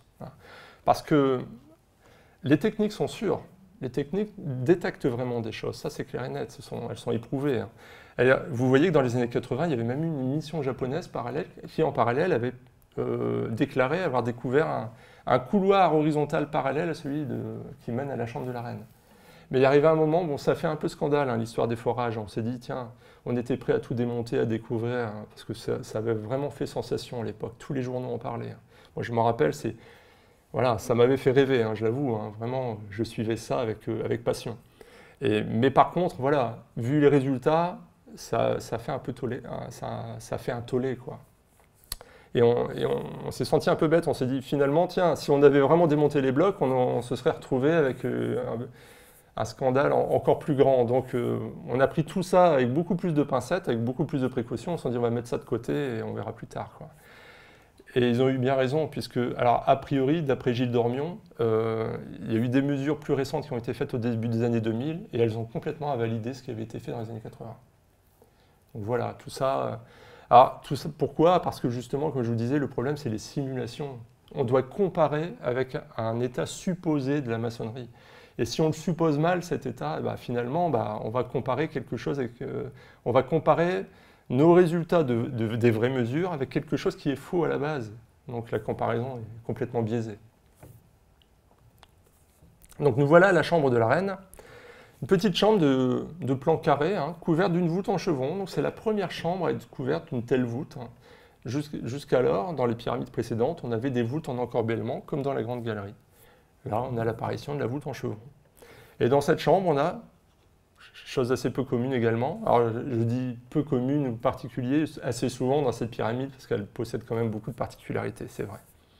On a une grande niche dans le mur est, et une niche dans laquelle on a un, petit, boyau de construction. Et ce boyau était complètement invisible à une époque, puisqu'il a été percé. On voit encore les traces de taille qui ont permis d'ôter un bloc ici qui cachait le petit boyau. Donc on suppose que cette niche a abrité une statue. Alors, à ce qu'il paraît, je dis à ce qu'il paraît, on a découvert, euh, des égyptologues avaient découvert, avaient décelé des traces de statues en durite. Alors je dis à ce qu'il paraît, parce qu'en fait, on n'a pas les, on n'a pas conservé ces traces. Elles sont entreposées nulle part. Donc voilà, ça c'est, on rapporte. Hein.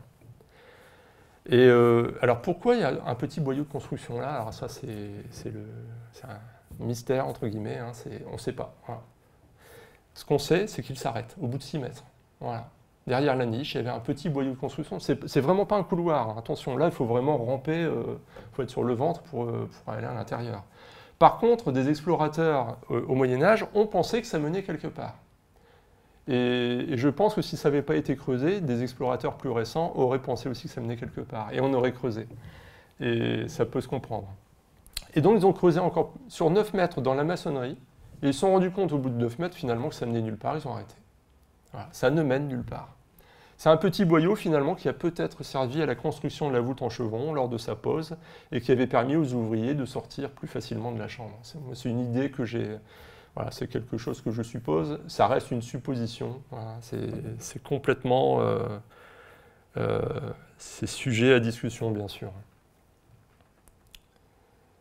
Alors là, cette chambre de la reine, là, sur la gauche, je viendrai sur, ce qui est sur la droite après. Je montre seulement que cette chambre de la reine, là, on a une description euh, qui date du XVIIIe siècle. Et sur cette description, on voit très bien qu'elle était complètement encombrée de gravats, de blocailles. Et en fait, ces gravats provenaient de, bah, justement du creusement du petit boyau qu'on a vu tout à l'heure, mais aussi euh, du creusement d'un puits dans le sol. Alors ça, c'est vraiment intéressant pour euh, ce que je vais expliquer juste après, parce que les explorateurs à l'époque n'hésitaient pas à creuser des trous un peu partout quand ils ne trouvaient rien. S'ils ne trouvaient rien, ils trouvaient ça bizarre, ils trouvaient ça suspect, et du coup, ils, pensaient que le trésor ou le pharaon se cachait ailleurs et qu'il fallait creuser. C'est tout simplement, euh, peut-être tout simplement que ça avait déjà été pillé. Hein. Alors là, voilà, ça c'est une théorie qui a été euh, élaborée par Gilles Dormier en 2004, qui a fait grand bruit elle aussi puisqu'il avait prétendu, à partir de nouvelles mesures euh, de microgravimétrie, qu'il avait décelé euh, bah, des, espaces sous la chambre de la reine. Et donc il a élaboré tout un scénario comme ça pour expliquer ces mesures de microgravimétrie, pour expliquer ces anomalies. Et selon lui, je dis bien selon lui, il y aurait donc un couloir qui viendrait d'on ne sait où et qui mènerait à une chambre funéraire dissimulée sous la chambre de la reine, mais un peu plus à l'ouest. Voilà, alors je dis, euh, je prends tout ça avec énormément de précautions, d'autant plus de précautions quand il y a une foule de détails de ce type.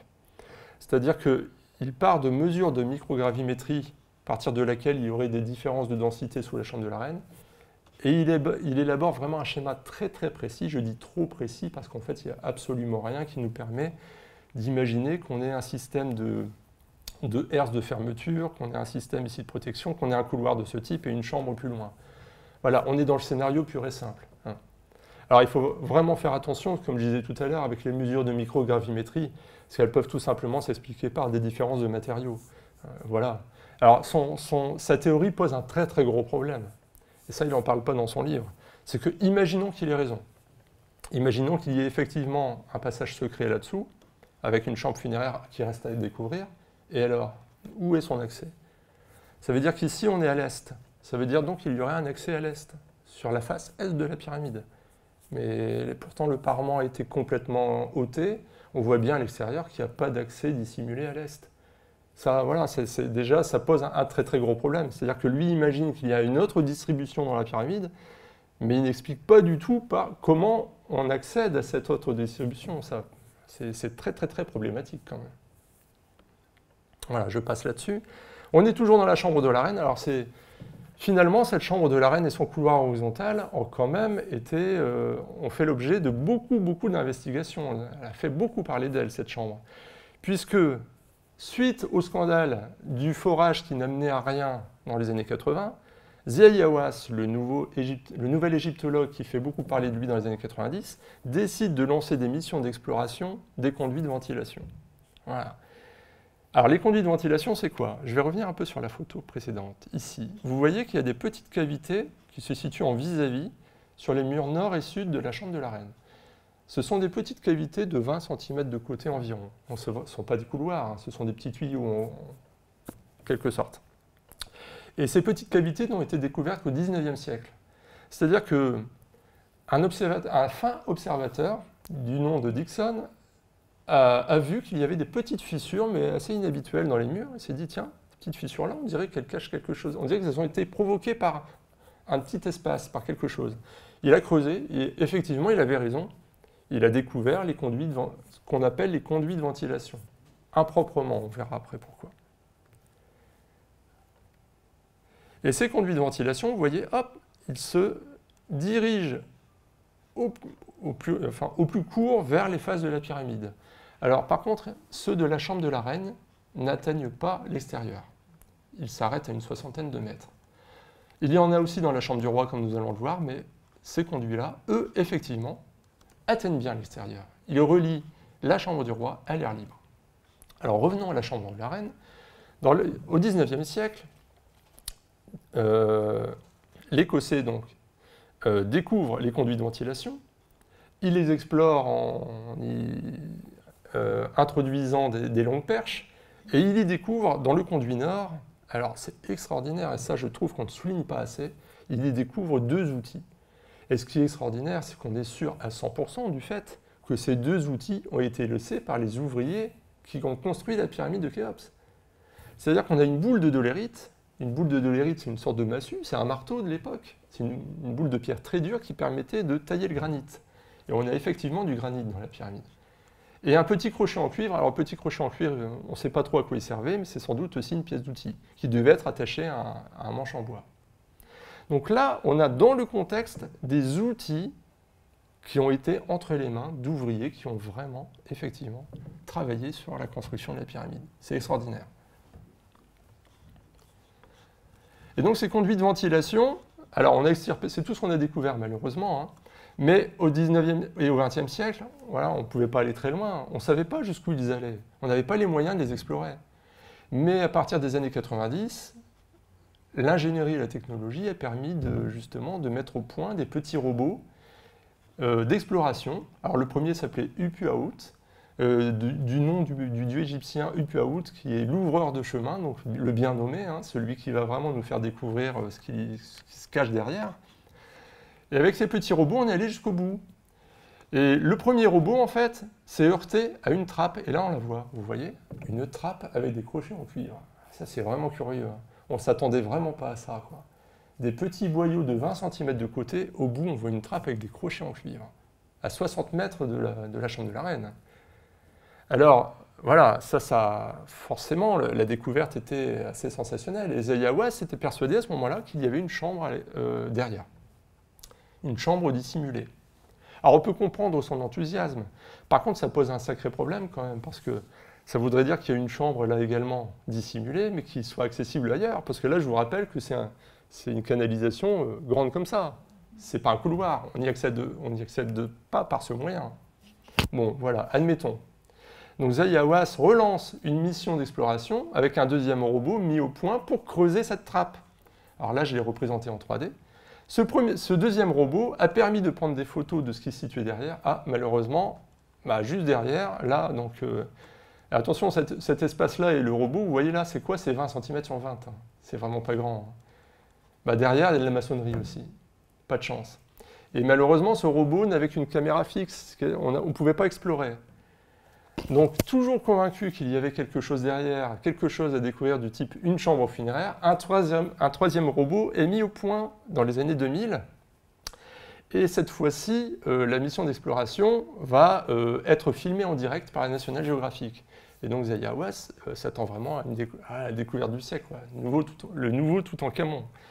Et bon, comment s'y attendait Il fallait quand même s'y attendre, hein, c'est qu'il n'y avait rien derrière le troisième robot avec sa caméra pivotante a permis justement de bien voir que euh, derrière cette trappe, il y avait une maçonnerie grossière. Finalement, c'était la terminaison du projet. C'était une trappe de fermeture qui empêchait tout simplement que le sable et les graviers s'introduisent dans le canal. C'était une protection, rien d'autre. Une trappe certainement qui, au moment de la construction, était soulevée, rabaissée à chaque fois au fur et à mesure. Donc là, ce sont les photos de ce qui se situe derrière la trappe avec quelques traces de peinture laissées par des maçons. Bon, ces traces de peinture, malheureusement, ne nous révèlent pas grand-chose. On a une ligne, alors je l'ai représentée là, et quelques symboles voilà, qui sont très très peu lisibles. Alors ils sont soumis à interprétation, mais ce n'est pas très clair. Voilà, donc ça, c'est quasiment, euh, je dirais, c'est une quinzaine, peut-être même 20 ans d'exploration euh, des conduits de ventilation avec des petits robots euh, qui nous ont permis de, savoir ce qu'il y avait au bout, mais finalement, c'est vrai qu'il n'y avait pas grand-chose. Alors, on peut se poser quand même la question de la destination de ces conduits de ventilation, par contre, et ça, ça pose problème. On ne sait toujours pas. Alors, il y a des théories hein, astronomiques, mathématiques, religieuses, mais tout ça, ça reste des théories. On n'a aucun document qui viendrait nous expliquer à quoi ça sert. Et en plus, le gros problème, c'est qu'on retrouve ces conduits de ventilation que dans la pyramide de Khéops, pas ailleurs. C'est qu'on n'a pas d'éléments de comparaison. C'est problématique sous plusieurs points, puisque là, on se dit finalement, si ça a une, signification quelconque, ça veut dire qu'on l'a quand même abandonné après. Enfin, que les Égyptiens ont jugé que ce n'était pas forcément si important que ça d'avoir des conduits de ventilation. Voilà, donc là, on va sortir de la chambre de la reine, qui a quand même fait, sur, laquelle on s'est beaucoup attardé, et on va revenir au puits, là. Je vous ai parlé tout à l'heure du puits qui avait permis d'aérer euh, le creusement de la descendrie de la chambre, souterraine, euh, avant qu'on ait établi les premières assises de la pyramide. Mais une fois qu'on a abandonné la chambre souterraine, on a pu commencer à construire la pyramide, on a établi les assises, on a bouché ce conduit, on a bouché ce puits. Et là, en fait, il y avait aussi une petite dépression, une petite cavité dans le sol qu'on avait complètement bouchée également. Mais pour euh, condamner la pyramide, pour pouvoir abaisser les blocs bouchons, pour pouvoir les lancer, les ouvriers devaient se disposer là. Ils devaient les manipuler. Mais ce qui fait que les ouvriers, après les funérailles, quand ils avaient lancé le bloc bouchon, se retrouvaient coincés. Heureusement, on avait quand même prévu une sortie de secours, le puits de service. Ils avaient remis en fonction le puits qui était existant là, en creusant à travers la maçonnerie de la pyramide, pour s'offrir une sortie de secours. Alors, ça pose problème.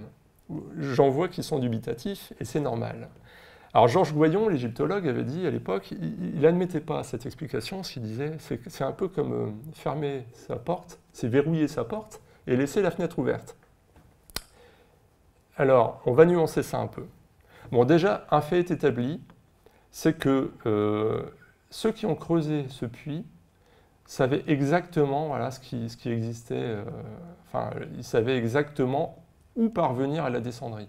Ça ne pouvait être que les constructeurs. Des pilleurs, ce n'est pas possible. Ils ne pouvaient pas savoir euh, voilà, qu'en creusant, en creusant là, ils allaient arriver exactement au niveau du palier de la, grande, galerie. C'est impossible. Et on voit très bien, d'après la méthode de, euh, creusement du tunnel, alors c'est une méthode caractéristique euh, qu'on retrouve aussi dans d'autres pyramides, c'est que les Égyptiens, quand ils creusaient un boyau de liaison, ils partaient d'une extrémité et de l'autre en même temps, et pour se rejoindre, ils formaient un coude. C'est-à-dire que ça fait ça. Voilà. Et là, on le remarque à plusieurs endroits. Ils ont bien agi de cette façon-là. Et, donc, ici, on évoque l'existence d'une grotte, euh, je vais en parler après. Je vais finir là-dessus par rapport à, l'histoire de condamnation. Euh, c'est vrai que Georges Goyon avait parlé donc de cette fenêtre ouverte, sachant que la porte était fermée. Euh, c'est pas vraiment vrai, si je peux le dire. C'est-à-dire que, imaginons, vous êtes les ouvriers, vous condamnez le couloir ascendant et vous devez ressortir. Voilà, vous reprenez le puits, c'est un puits qui fait quand même 60 mètres. Hein. Là, on a 60 mètres de hauteur. C'est 70 cm de côté. C'est quand même, acrobatique, hein, pour l'emprunter. Ils ressortent. Les funérailles sont achevées, tout le monde est sorti. Rien n'interdit ici de condamner le bas du puits par un train de bloc bouchon également. C'est-à-dire qu'on a pu aussi empêcher ici l'accès au puits de service. Alors rien ne dit que ça, a vraiment été fait. Mais je rappelle seulement assez, régulièrement que ici, on a un encadrement qui permet justement que viennent se poser des blocs bouchons. Je pense qu'à l'origine était prévu que des blocs bouchons viennent condamner l'accès à la salle souterraine. Je ne saurais pas certifier que ça a vraiment été fait. Mais en tout cas, s'ils l'ont fait, ça a pu aussi condamner l'accès au puits de service. Et une fois qu'ici c'est condamné, là c'est condamné, on ne peut plus accéder peut plus accéder à la chambre funéraire. Et il ne faut pas oublier non plus, et ça on va le voir après, que tout en haut de la pierre, juste avant la chambre du roi, il y avait aussi un système de condamnation avec blocs de granit, ce qui fait que si même vous, vous arriviez à escalader les 60 mètres du puits pour voler la pyramide, vous vous retrouviez quand même devant une protection en granit devant la chambre du roi. Donc il y avait quand même pas mal d'obstacles. Hein. Voilà, les herses. Et donc cette grotte, là, voilà, je reviens sur cette grotte. Euh, elle n'existait pas, euh, elle, pas avant le XVIIe siècle. J'ai pu déterminer, en fait, d'après les témoignages des, différents voyageurs, laissés par les différents, voyageurs, que cette grotte, finalement, a été creusée par des explorateurs qui s'étaient demandé pourquoi il y avait une maçonnerie à cet endroit. Ils ont tout extirpé, ils ont tout enlevé les gravats, ils ont tout jeté au bas du puits, et c'est eux, finalement, qui, en creusant cette dépression comme ça, ont créé la grotte. Voilà, il n'y avait pas de grotte à l'origine dans la Grande Pyramide. Alors voilà, je résume un peu la situation. Euh, creusement, au moment du creusement de la chambre souterraine, on creuse le puits de service pour relier à l'air libre. Ensuite, euh, lorsqu'on veut offrir une voie de sortie aux ouvriers qui avaient condamné euh, la pyramide avec les blocs bouchons, on relie le palier de la grande galerie au puits qui était déjà existant mais qui avait été rebouché, tout simplement. On réemprunte, voilà. on est de nouveau dans la grande galerie, on grimpe, on arrive tout en haut, et on arrive à une petite antichambre, ce qu'on appelle l'antichambre herse. Alors des herses, pourquoi on appelle ça des herses? Tout simplement sur le modèle des herses des châteaux. Alors une herse qui empêche l'entrée à un château médiéval, c'est une grille qui vient coulisser de haut en bas pour empêcher l'accès.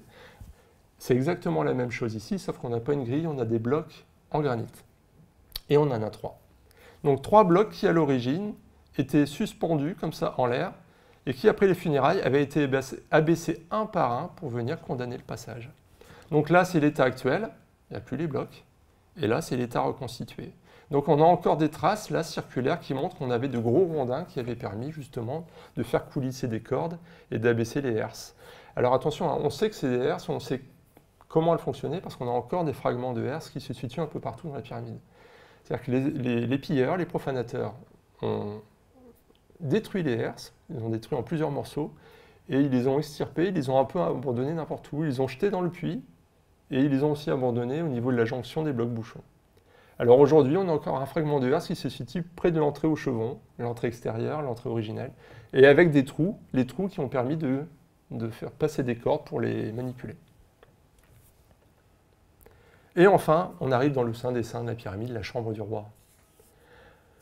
Je vais encore utiliser le mot particulier. On a encore ici une chambre funéraire très particulière puisqu'elle est absolument unique dans l'architecture funéraire de l'Ancien Empire et même de l'architecture funéraire tout court en Égypte ancienne, puisqu'elle est couverte de ce qu'on appelle des chambres de décharge. Alors déjà, premièrement, elle est complètement habillée de granit. Voilà, ça, ça la différencie de tout ce qu'on voit dans le reste du monument. Hein. Le reste, c'est du calcaire, là, c'est du granit. Et le granit, c'est une pierre très dure qui provient d'Assouan, c'est-à-dire plusieurs centaines de kilomètres au sud. Donc là, ça vient de très loin. Et le sarcophage, lui aussi, est en granit. Et alors, comment on est sûr que c'est bien la chambre du roi? C'est quand même que la chambre dispose toujours de son sarcophage. Et que, bon, quand on a un sarcophage dans une chambre en Égypte, c'est quand même 99,99% de chance pour que ce soit une chambre funéraire. Après, voilà. Euh, alors, l'état de son sarcophage actuellement, vous voyez, déjà, il est démuni de son couvercle. Le couvercle a été détruit, euh, emporté. Et il est très abîmé.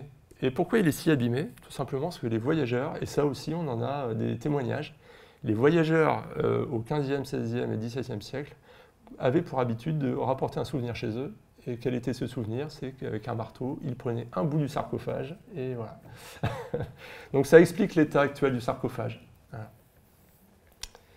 Et donc cette chambre funéraire, vous voyez, elle est assez spacieuse, environ 10 mètres sur 5, je dis environ, hein, une dizaine de mètres sur 5, et, autant de hauteur.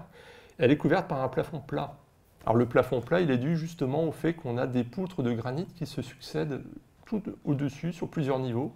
Et enfin, tout en haut, une voûte en chevron, classique, donc, comme celle de la chambre de la reine. Alors pourquoi ces dispositifs? L'explication pour l'instant la plus rationnelle qu'on ait à, formuler, c'est que cette voûte en chevron qui, couvre la chambre, maintenant qui va couvrir toutes les chambres funéraires des pyramides, elle dévie les forces qui viennent elle dévie. Alors les masses les charges viennent peser sur elle, et elle vient les dévier en partie sur les côtés. Contrairement à la voûte en encorbellement, celle de la grande galerie, où les forces, viennent à la verticale et elles n'impactent pas les structures avoisinantes. Une voûte en chevron, si, elle impacte, elle impacte les structures avoisinantes. Et donc, si cette voûte en chevron avait été établie juste au-dessus de la chambre du roi, elle aurait fait dévier les forces sur la grande galerie et aurait donc euh, poussé sur les murs de la grande galerie, il y aurait eu un effondrement. Ça, les Égyptiens étaient, voilà, ils, savaient, ils avaient une très très bonne appréhension de la mécanique des forces de ce type de voûte. Donc du fait, ils ont surélevé la voûte en chevron en disposant comme ça plusieurs étages de poutres de granit qui pesaient plusieurs, euh, plusieurs dizaines de tonnes. On a, euh, on a environ 3000 tonnes de granit hein, qui se superposent là, c'est pas rien. Alors vous me direz, c'est quand, même, voilà, quand même beaucoup d'efforts, c'est beaucoup de travail rien que pour surélever la voûte, mais les Égyptiens ne reculaient devant rien. Et surtout, euh, l'excès de précaution est vraiment une marque de fabrique de, l'architecte égyptien. Ils n'étaient peut-être pas forcément obligés d'aller si haut. Trois, niveaux auraient suffi. Mais eux n'avaient pas les connaissances théoriques dont nous, disposons. Ils n'avaient pas d'outils de simulation. Il fallait prendre aucun risque. On surélève à fond la voûte. Voilà. Alors vous voyez là, il y a un boyau qui mène à ces chambres de décharge. Le boyau, le premier boyau, et je vais en parler juste après, c'est ce boyau-là, il conduit du haut de la grande galerie à la première chambre de décharge. Ce sont les Égyptiens eux-mêmes qui l'ont creusé. Alors comment on le sait, comment on le devine en tout cas, c'est que ce boyau évite proprement euh, les blocs de granit. C'est quand même très très dur à tailler le granit. Et ceux qui ont creusé là, ils ont pris soin à creuser là où il y avait du calcaire et pas du granit. Il y avait que les constructeurs qui pouvaient le savoir. Et pourquoi? Je vais vous le dire tout de suite. Voilà. Eh bien, vous voyez, ça, c'est la chambre du roi aussi. Alors, un autre point de vue, là, on a un des conduits de ventilation de la chambre du roi, et vous voyez que le mur est complètement fracturé, complètement éclaté. Et les poutres, c'est la même chose. Toutes les poutres de tous les niveaux qui se superposent au-dessus de la chambre du roi sont complètement fissurées. Ouais, sont fissurées, ouais. Alors, d'un côté en dessous et d'un côté au-dessus. Alors ça veut dire en fait tout simplement, et ça ça a été établi, hein, il y a eu des mesures très précises qui ont été faites dans les années 90, qu'il y a eu un affaissement du mur sud. Alors attention, l'affaissement, pas très, pas très grand, hein, c'est quelques centimètres, il suffit de pas grand chose. C'est pas très malléable hein, le granit, c'est-à-dire que si ça bouge un peu, ça, ça casse. Et c'est ce qui s'est passé. Et pourquoi bah, Tout simplement parce que les Égyptiens, comme jamais auparavant, ils avaient élevé leur chambre très haut dans la maçonnerie, et qu'après, bah, ils, ont été confrontés à des phénomènes de structure auxquels ils n'avaient jamais été confrontés avant. Et qu'est-ce qui se passe quand on élève des assises de maçonnerie, surtout sur des hauteurs aussi prodigieuses? Là, je rappelle, 146 mètres. On a des centaines de milliers de tonnes qui viennent peser progressivement de plus en plus sur les structures. Eh bien, en fait, on a des tassements, c'est-à-dire que les moindres aspérités, le moindre joint va venir s'écraser alors quand vous avez euh, un tassement de 0,1 mm sur une assise, c'est imperceptible, ça touche rien. Par contre, quand vous avez une centaine d'assises qui se superposent, vous avez un tassement après qui devient 10 cm et c'est beaucoup. C'est énorme. Alors ça, ils ne pouvaient pas le prévoir. Ils l'ont constaté à leur dépens avec cette pyramide. Et justement, c'est en le constatant, c'est à cause de cet incident qu'après, ils prendront la décision de ne plus jamais construire de chambre funéraire au sein même d'une pyramide. Ce sera toujours à la base. Donc voilà, ça a été une véritable catastrophe. Il faut quand même s'imaginer que là, la pyramide, elle, s'était élevée quand même à une certaine hauteur, elle était quasiment terminée. Il y a peut-être plus que, je ne sais pas, euh, peut-être trois ans tout au plus pour achever le monument. Et imaginez un peu le vacarme. Toutes les poutres de granit explosent, quoi. On a des fissures sur toutes les poutres de granit. C'est-à-dire que s'il y avait des ouvriers à l'intérieur, ça a dû faire un, un bang gigantesque. C'est peut-être entendu à l'extérieur aussi. Est-ce que le pharaon a été mis au courant? C'est une question qu'on peut se poser. Imaginez un peu. Imaginez que vous êtes à la place de l'architecte, le responsable de tout ça. Vous devez dire au pharaon que sa chambre funéraire menace, menace de s'effondrer. Ah, on peut imaginer qu'il ne l'ait pas su. En tout cas, une chose est sûre, ils ont pris des mesures. Ils ont creusé ce boyau, je vous ai dit tout à l'heure, ils ont creusé ce boyau qui, euh, démarre en haut de la grande galerie pour accéder à la première chambre de décharge. Ils ont voulu savoir ce qui s'était passé. Je pense que leur première crainte, c'était que toutes les poutres se, soient affaissées, se soient écroulées et qu'elles se soient reposées sur le plafond de la chambre du roi. C'est domino. Voilà. Alors, ils ont creusé leur boyau, ils, ont été, ils sont allés voir. Et finalement, qu'est-ce qu'ils ont constaté? Bah, Que les poutres de la première chambre de décharge étaient fissurées comme les poutres de la chambre du roi. Et là, je pense qu'ils ont compris qu'il n'y avait pas eu d'écroulement, mais que tout simplement que l'affaissement, le, tassement qu'il y a eu avec le mur sud a provoqué toutes ces fissurations. Ils ont dû quand même contrôler un moment, se dire, bon, on va, on va finir comme ça, on va voir, et, euh, veiller à ce que ça n'empire pas. Alors, qu'est-ce qu'on voit là? Vous voyez là, on est sur le plafond de la chambre du roi et il y a des empreintes. De grosses empreintes, et sans doute des empreintes de madriers. Alors, il y a deux hypothèses pour expliquer ces empreintes. La première, c'est que ce sont des empreintes de renfort, donc qui, ont, qui sont venues, euh, qui ont été établies pour euh, contrecarrer des forces au cas où tout s'écroulerait de gros renforts, de puissants renforts en bois. Et la deuxième, hypothèse, c'est que des gens pensent que ce n'est pas des traces de renfort, mais tout simplement des traces de bardage, de traîneaux qui ont permis euh, d'acheminer les blocs de granit lors de la construction. Alors, la réponse peut être donnée facilement à ça. C'est que si on constate dans les chambres de décharge qu'il n'y a pas ces empreintes, ça veut tout simplement dire que c'est très caractéristique de la chambre du roi et que c'est bien des renforts. Par contre, si on a ça aussi dans les chambres de décharge, dans lesquelles il n'y a pas eu de renfort, Là, ça voudra dire qu'on a eu un transport par traîneau qui a laissé des traces. C'est quelque chose, c'est une question à laquelle on pourra répondre bientôt si des mesures sont faites. Donc voilà, euh, on parle souvent de la perfection de la Grande Pyramide, en millimètres près, taillée au laser, etc. La Chambre du Roi, d'ailleurs, très souvent citée en exemple. Vous voyez que quelque part, on est quand même loin de la perfection et on ne les blâme pas. C'est la première fois que des êtres humains s'aventuraient à une telle construction. Et attention, c'est peut-être un semi-échec finalement. Oui, tout s'est brisé, tout s'est fracturé, mais ça tient toujours. Ça tient toujours. Et ça peut plus bouger. Nous, on le sait maintenant, mais eux n'avaient pas les moyens de s'en assurer. Alors, qu'est-ce qui s'est passé? Est-ce que Khéops a vraiment été inhumé dans cette chambre?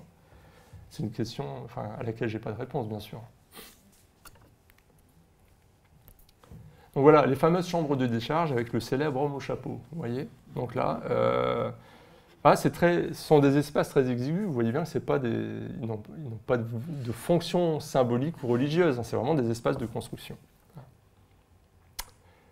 Ah oui, alors point important, dans les chambres de décharge, alors, on a vu l'aspect constructif, l'aspect structurel, mais quand même un fait majeur, c'est qu'elles disposent des seules inscriptions euh, existantes dans cette pyramide. Et inscription ô combien importante puisqu'elle mentionne le roi lui-même. Khéops. On retrouve plusieurs fois. Alors, on a son nom d'Horus, l'Horus Medjedou, et le nom, sein d'un cartouche, le nom Khufu, donc Khéops. Plusieurs noms, je vous rappelle, le pharaon a plusieurs noms. On a donc son nom qui est indiqué plusieurs fois, on a des traces de niveau, des, lignes de construction, vraiment, c'est très très riche hein, comme documentation. Et ce ne sont pas des inscriptions religieuses, hein, ça a été laissé par les maçons, par les ouvriers, par les techniciens, pour dire voilà, c'est telle équipe qui travaille sur ce bloc, euh, ça a été acheminé par telle équipe. Il y avait vraiment une gestion administrative rigoureuse. Hein. On devait savoir quelle équipe faisait quoi. Et elle devait rendre des comptes. Et elle devait être récompensée aussi pour son travail. Donc voilà, là on a, on a les traces de tout ça. Et euh, donc il y a une histoire assez abracadabrante. C'est-à-dire qu'il y a des. les théoriciens alternatifs pour refuser au monument l'attribution à Khéops, euh, ont inventé cette histoire en disant que les inscriptions, les marques de maçons, là, sont des faux. C'est-à-dire que les explorateurs du début du 19e siècle euh, seraient venus avec des pots de peinture et pour démontrer, enfin pour faire pour accentuer l'importance de leur découverte, auraient euh, mentionné le nom de Khéops et auraient attribué la pyramide à Khéops. Premier point. Vous avez vu tout à l'heure qu'on a retrouvé des traces du nom de Khéops dans les inscriptions à l'extérieur. Bon, voilà. Ça, ça, déjà, on, sait que c'est... En dehors de ces inscriptions, on sait que la pyramide appartient à Khéops. Maintenant, deuxième point, c'est que les explorateurs Weiss et Perrin, au début du 19e siècle, ne savaient pas lire les hiéroglyphes. Ou ils n'en avaient que de, vraiment de, vulgaires rudiments. Ils étaient incapables de, faire des faux aussi excellents. Et n'importe qui à l'époque aurait été incapable, puisqu'en fait, il y a beaucoup de marques de maçons de ce type qui n'ont été comprises que très récemment. On a des parallèles maintenant ailleurs voilà, l'histoire du faux est complètement folle. Et je vous ai mis euh, comme référence, voilà, sur l'authenticité des marques, les théories relatives à une tromperie, l'auteur c'est Zekaria Sitchin. Et donc il y, a euh, deux auteurs qui ont, euh, trois auteurs pardon, qui ont écrit un livre, qui ont, qui ont essayé de démêler le vrai du faux, qui sont remontés à l'origine de cette histoire de faux. C'est un vrai roman, c'est énorme. Alors c'est toujours le problème avec les histoires, pardon, avec euh, les théories alternatives, c'est que c'est facile à élaborer. On peut élaborer une théorie alternative en deux minutes, mais par contre, pour après euh, convaincre les gens que c'est faux, il faut écrire un livre complet. Quoi. Donc euh, il y a un déséquilibre dans la balance quand même, et c'est ce qu'ils ont fait, et c'est remarquable, c'est vraiment passionnant à lire, ça montre aussi les tenants et les aboutissants de tous les théoriciens alternatifs. Donc, ici on a une reproduction qui a été faite justement par Weiss et Pering, hein, qu'on a soupçonné de, falsification. Et voilà, on a des traces de peinture un peu partout dans les chambres, c'est vraiment passionnant. Donc voilà, un plan cohérent des changements de projet au final pour cette pyramide? Alors c'est vrai qu'il y a beaucoup d'égyptologues qui, refusent l'idée de changement de projet. Ça c'est quelque chose, mais alors il y a beaucoup de gens, alors pas forcément que des égyptologues, hein, mais euh, quand on parle de la pyramide de Khéops, il est absolument interdit de parler d'hésitation, de modification de projet, de maladresse, parce que ce serait prendre les Égyptiens, je mets des guillemets, pour des idiots. Alors euh, non, enfin je veux dire, quand, la plupart des monuments égyptiens ont connu des changements de plan, des modifications au cours de construction. En quoi la pyramide de Khéops ferait figure d'exception? C'est une question vraiment à laquelle il faudrait tenter d'apporter une réponse. Les pyramides précédentes, les pyramides qui ont suivi, on sait qu'elles ont connu des modifications. Pourquoi Khéops, lui, euh, n'aurait pas pu être sujet à ça? Son règne a été long. Savoir qu'on dispose de plans au départ Imaginez, au bout de 20 ans, euh, un maître d'œuvre a forcément son idée a mûri. Euh, peut-être aussi que la religion a évolué. Il y a tout un tas de facteurs en qu'on ne connaît pas, mais qui font qu'on a pu à un moment donné avoir une volonté différente. À vouloir changer, vouloir une chambre en haut, voir du granit, enfin bref, tout un tas de, de raisons. Comme dans tous les projets architecturaux, si aujourd'hui vous lancez un projet de construction qui va durer 20 ans, il y a fort à parier qu'à partir du plan de départ, et, entre le plan de départ et le moment où on va inaugurer le, monument, il y aura eu beaucoup, beaucoup de modifications. C'est le propre de l'architecture. Et c'est toute la puissance des architectes égyptiens, ça je le souligne. C'est justement ça qui fait leur force.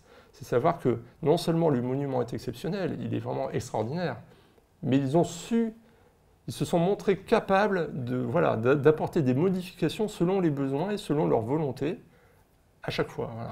Quand ça se présentait, ne reculer devant rien. C'est quand même pas évident déjà d'élaborer un plan d'une telle pyramide. Mais de se dire qu'à un moment donné, on va faire des modifications que ça tienne, eh bien, il faut quand même montrer de l'audace. Et ils l'ont fait. Voilà, donc ça je vais passer, parce que c'est un peu ce que je disais. Oui, alors, comme je vous disais tout à l'heure, euh, voilà, si on montre cette, vue en coupe de la pyramide, on pourrait penser que c'est une vue, enfin, c'est des appartements complètement euh, euh, différent de ce qu'on remarque dans les autres pyramides. Il faut savoir en fait que c'est complètement caractéristique au contraire. C'est que ça ne diffère pas. La seule, chose qui frappe, c'est qu'on a justement des projets qui se superposent. On a une entrée au nord, on a un accès qui se dirige vers le sud, vers la chambre funéraire, une chambre funéraire orientée est-ouest. Est-ouest parce que est, c'est le domaine des vivants et l'ouest, c'est le domaine des morts. Et le sarcophage se situe dans la partie ouest de la chambre funéraire, le domaine des morts. Ça, voilà, c'est une constante. À partir du règne de Snéfrou, le père de Khéops, c'est établi. Et Khéops ne va pas déroger cette règle, et ce sera une règle immuable durant tout l'Ancien Empire. Et donc, si on considère cet aménagement, ça le respecte.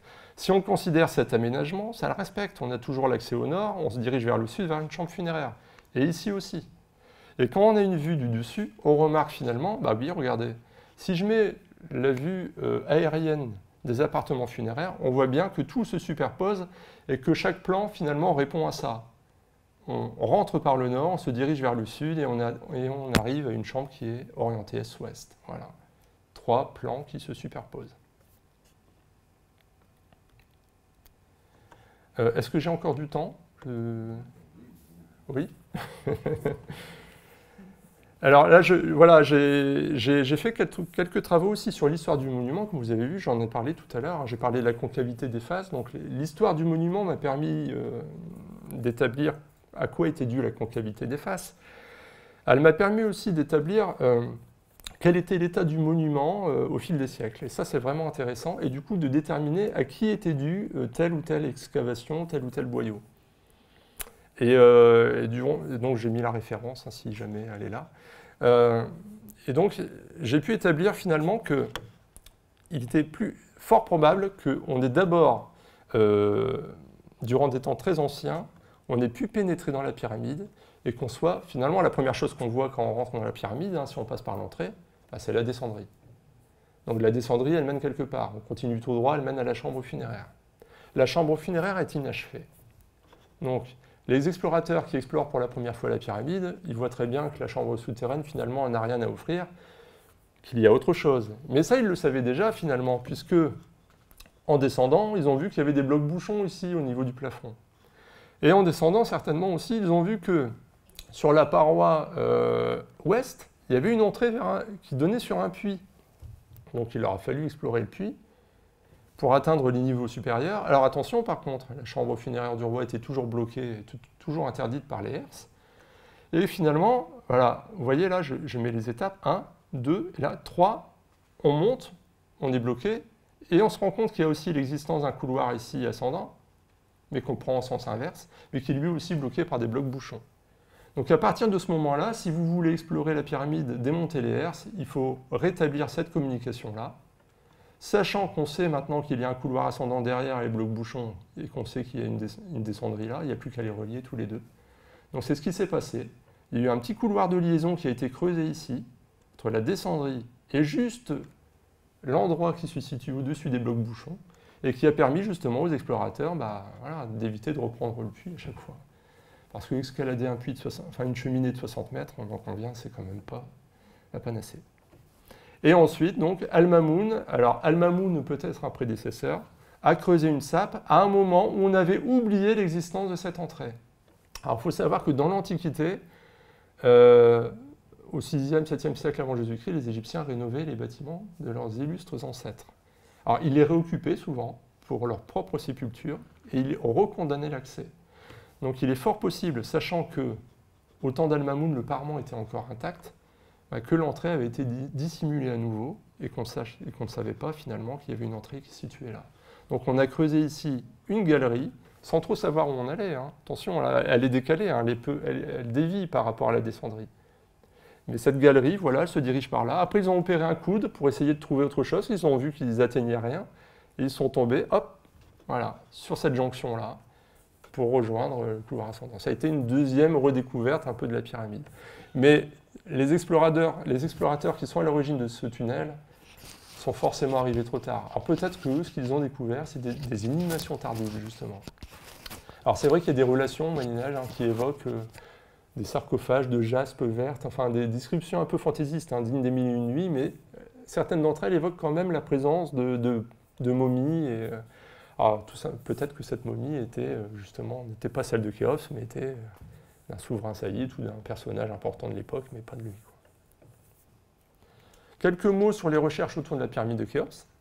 Alors, récemment, la plus grande découverte qui a été faite à ce sujet, ce sont les papyrus du Wadi al-Jarf, donc des papyrus qui relatent, ça c'est vraiment, magnifique, hein, qui relatent le transport par bateau de blocs de construction pour le chantier de la pyramide de Khéops c'est un, témoignage, un témoignage circonstancié de gens qui ont vu de leurs yeux euh, la construction de la pyramide. Alors ce sont des témoignages qui ne sont pas d'ordre technique, ils sont seulement d'ordre administratif. C'est-à-dire qu'ils devaient rendre compte de leurs travaux. Alors à chaque fois, tous les jours, ils notaient d'où ils appareillaient, où ils arrivaient, où ils accostaient, etc. On a des détails comme ça qui sont administratifs, malheureusement, il n'y a pas de plan, il n'y a pas de détails techniques, mais euh, mais quand même, c'est important. Voilà. On a un témoignage direct qui nous montre que les blocs de, enfin, les blocs de parement venaient bien de Toura. Alors attention, par contre, c'est à la fin du règne. On sait que ça, ça, date de la fin du règne. Et euh, c'est vrai que la pyramide de Khéops, comme je vous ai dit tout à l'heure, c'est tout un complexe funéraire. Donc il est possible que ces témoignages aient trait à des blocs qui, eux, étaient destinés finalement au temple funéraire, parce que la pyramide était peut-être déjà achevée, ou aux pyramides de Rennes ou aux mastaba qui les entouraient. Mais quoi qu'il en soit, c'était quand même pour le chantier de construction de la pyramide de Khéops, c'est bien mentionné. Alors ça, ça nous donne quand même euh, de, l'espoir. Parce qu'une telle découverte qui était complètement inattendue, hein, on ne s'attendait pas à ça, à cet endroit. Hein. Wadi El-Jarf, c'est vraiment un lieu isolé au bord de la mer Rouge. Ça,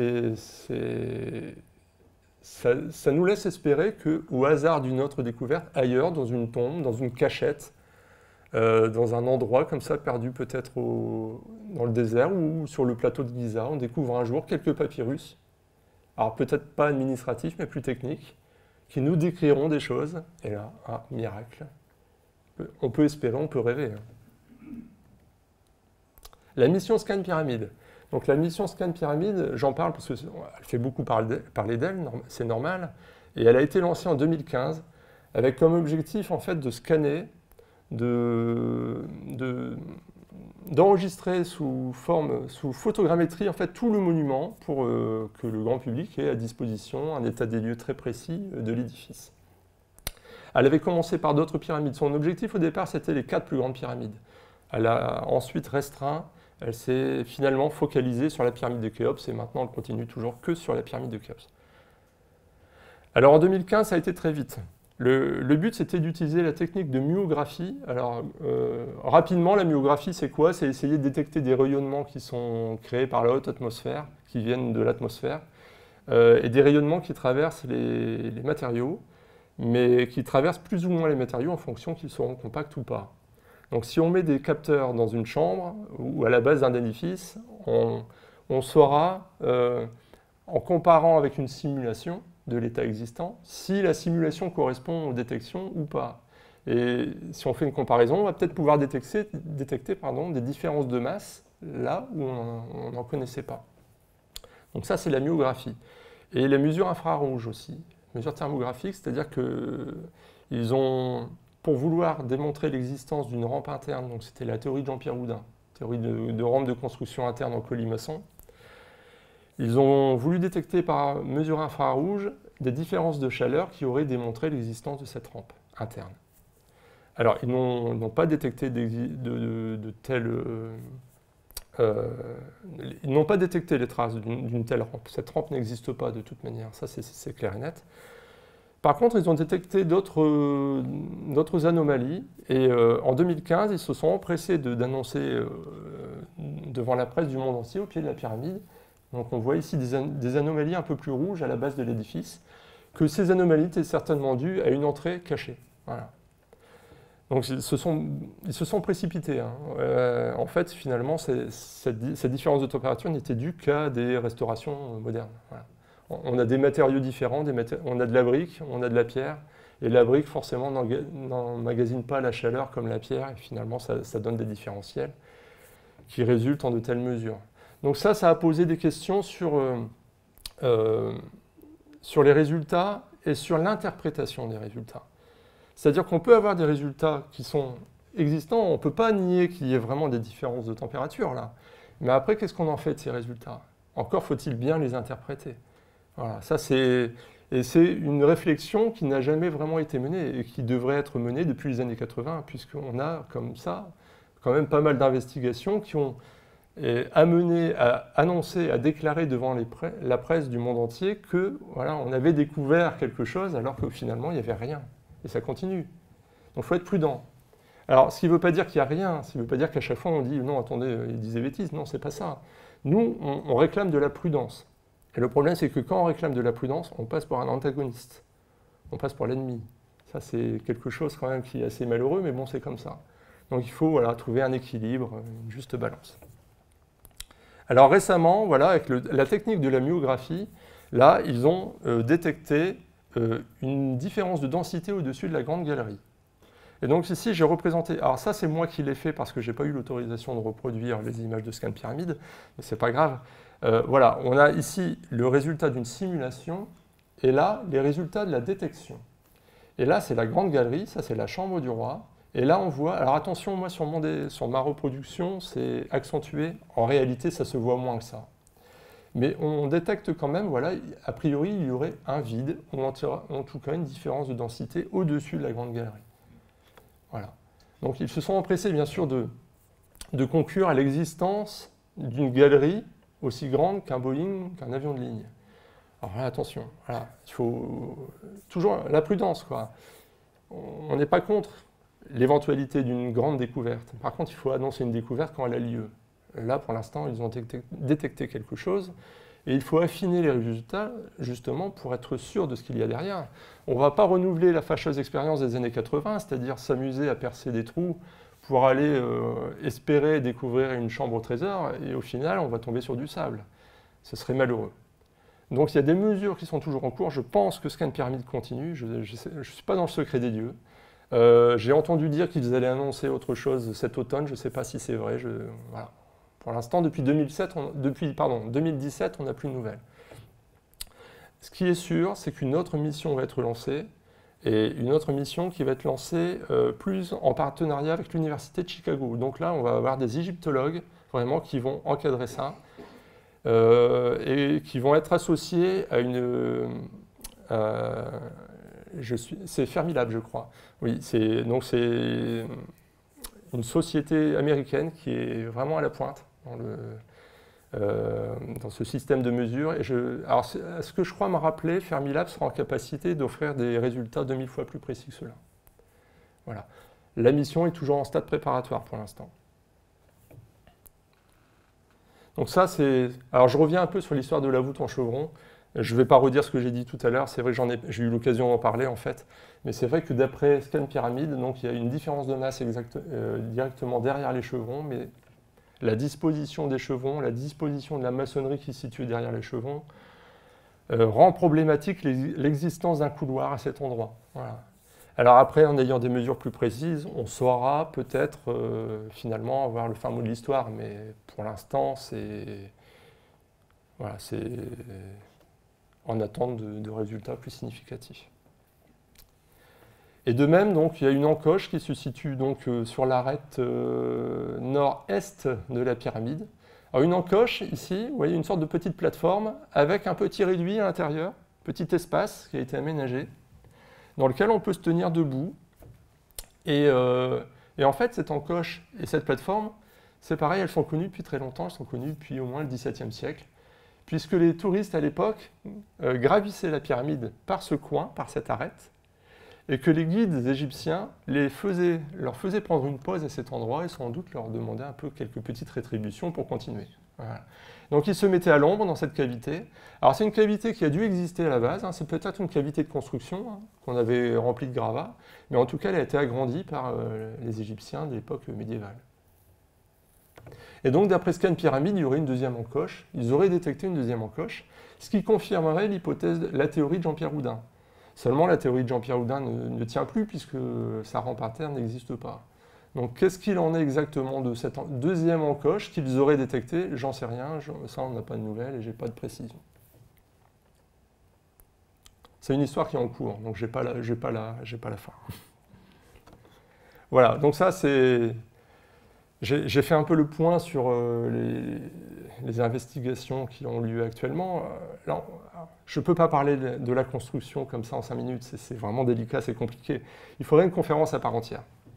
Maintenant, c'est vrai que le problème de ceux qui, étudient la construction de la pyramide de Khéops, qui prétendent avoir découvert comment a été construite la pyramide, qui prétendent avoir trouvé une théorie qui tienne la route, ne s'attardent que sur la théorie, ne euh, s'attardent que sur la pyramide de Khéops, ne se reposent que sur elle, ils ne se reposent sur rien d'autre. C'est-à-dire qu'ils n'étudient pas l'ensemble de la documentation égyptienne pour pouvoir euh, être en accord avec elle. C'est-à-dire que des fois, il y a des théories qui peuvent avoir l'air convenables, qui peuvent avoir l'air cohérentes, mais une fois qu'on la confronte à ce qu'on sait ailleurs, elle ne tient plus, elle ne tient pas la route. Et ça, c'est dommage, voilà, que systématiquement, on ne fasse que s'appuyer que sur la pyramide de Khéops et sur le peu d'indices qu'elle nous révèle finalement, parce que sur la construction, on n'a rien. Alors, voilà, là j'ai un dessin qui résume un peu la situation, c'est-à-dire que chacun sa rampe, hein, finalement, c'est ce que je dis. Hein. Euh, quand on est égyptologue, jusqu'à une certaine époque, quand on était égyptologue et qu'on étudiait, les pyramides, il fallait avoir sa rampe. C'était dans le pont, il fallait avoir sa théorie de construction. Sinon, euh, ça ne le faisait pas. Quoi. Et, euh, et, donc voilà, on se retrouve avec plusieurs théories et débrouillez-vous avec ça. Je ne peux pas vous en dire plus. Finalement, on n'a pas de documents historiques qui viennent confirmer l'une ou l'autre. Alors, on sait, ça on sait qu'ils utilisaient des rampes. Oui. Alors, pourquoi? Parce qu'on a des vestiges de rampes et qu'on a des témoignages qui nous parlent de rampes et qui nous décrivent des rampes. Voilà. Ça, c'est, vraiment la, technique la plus sécurisante qui soit la plus simple et la plus efficace. C'est-à-dire qu'une rampe, c'est quoi? C'est qu'on on évite, avec une rampe, on élève le sol. C'est-à-dire qu'on évite de soulever un, bloc lourd au risque de le faire chuter, au, risque de le faire tomber, qu'il se casse. Eux ne faisaient jamais, ou quasiment jamais. En tout cas, pour des blocs très lourds, ils ne le faisaient pas, ils s'y aventuraient pas. un bloc d'une centaine de tonnes, ils ne l'élevaient jamais dans les airs. C'était toujours sur une rampe, c'est la rampe qui s'élevait. Donc on maîtrisait les choses de cette manière. Donc récemment, à Atnoob, on a découvert, par exemple, ici, une rampe, une rampe d'extraction qui permettait justement de, déplacer des blocs qui provenaient d'une carrière d'albâtre. Et cette rampe, elle possède une glissière centrale avec des marches sur les côtés. Et on voit très bien que les marches étaient finalement euh, disposées de telle manière à ce que les ouvriers s'appuient dessus et qu'avec des cordes, ils fassent glisser le bloc sur la glissière centrale. Et on a des représentations dans la tombe de Rekmiré, par exemple. D'accord, on est à la 18e dynastie, je le, concède, mais les techniques de construction égyptienne ont été constantes. N'ont pas beaucoup évolué durant ces millénaires, puisque finalement, ils ont su, dès le départ, établir de bonnes bases, des règles qui étaient vraiment très efficaces et qui fonctionnaient très bien. Construction d'une rampe, et ça c'est le temple de Karnak, alors c'est une manière très stylisée de représenter, le temple de Karnak, mais là on peut imaginer que ce sont les colonnes qui sont noyées dans la maçonnerie de briques, donc on construit une branche, on noie tout dans une maçonnerie de briques, et quand on arrive en haut, on démonte tout l'échafaudage en briques, et de haut en bas, on finit, on dresse, c'est-à-dire qu'on fait, on, des opérations de finition, en fait on retaille, et on grave euh, toutes les parois euh, de haut en bas. On a aussi le papyrus anesthésie, qui clairement décrit, c'est un problème mathématique, qui décrit un problème euh, qui demande en fait le nombre de briques pour construire une rampe de construction. Le but du problème, c'est de déterminer le nombre de briques pour construire une rampe de construction. Donc euh, longue de 730 coudées, en gros, c'est 350 mètres de long. Pas une petite rampe quand même. Et est-ce qu'on a des vestiges de rampe? Alors on dit souvent non, mais si, mais si. Il faut bien chercher, il faut bien regarder. Là, on en a une. Et on est à Giza, on est à l'ouest de la pyramide de Khéops. Et ça, c'est pas n'importe quelle rampe. Alors, on voit bien ici, on a les strates en plus, on voit les strates qui se sont élevées, euh, qui ont été euh, comprimées au fur et à mesure de l'élévation de la rampe. D'accord, cette rampe ne va pas très haut. Par contre, elle a servi à mettre en place des blocs de dimension mégalithique. Alors, je vous donne une échelle ici, vous voyez là? Bah, C'est quelqu'un qui est accroupi au pied. Voilà. Il y a un monsieur là qui fait sa petite pause. Vous voyez la taille du bloc. Hein. Donc ça, c'est une rampe qui a permis de déplacer de tels blocs. Ça, c'est un mur mégalithique qui sépare le cimetière de Khéops du cimetière de Képhren. Voilà. Alors, je vais montrer cet exemple. Il y a aussi une autre rampe dans la nécropole de Khéops, mais qui se dirige vers le champ de Mastaba. Celle-là, je la trouve vraiment intéressante parce que c'est une rampe qui est associée à des blocs de dimension mégalithique. Voilà, je terminerai là-dessus, puisque la construction, c'est vraiment un sujet à part entière, donc euh, j'espère que ça vous a plu.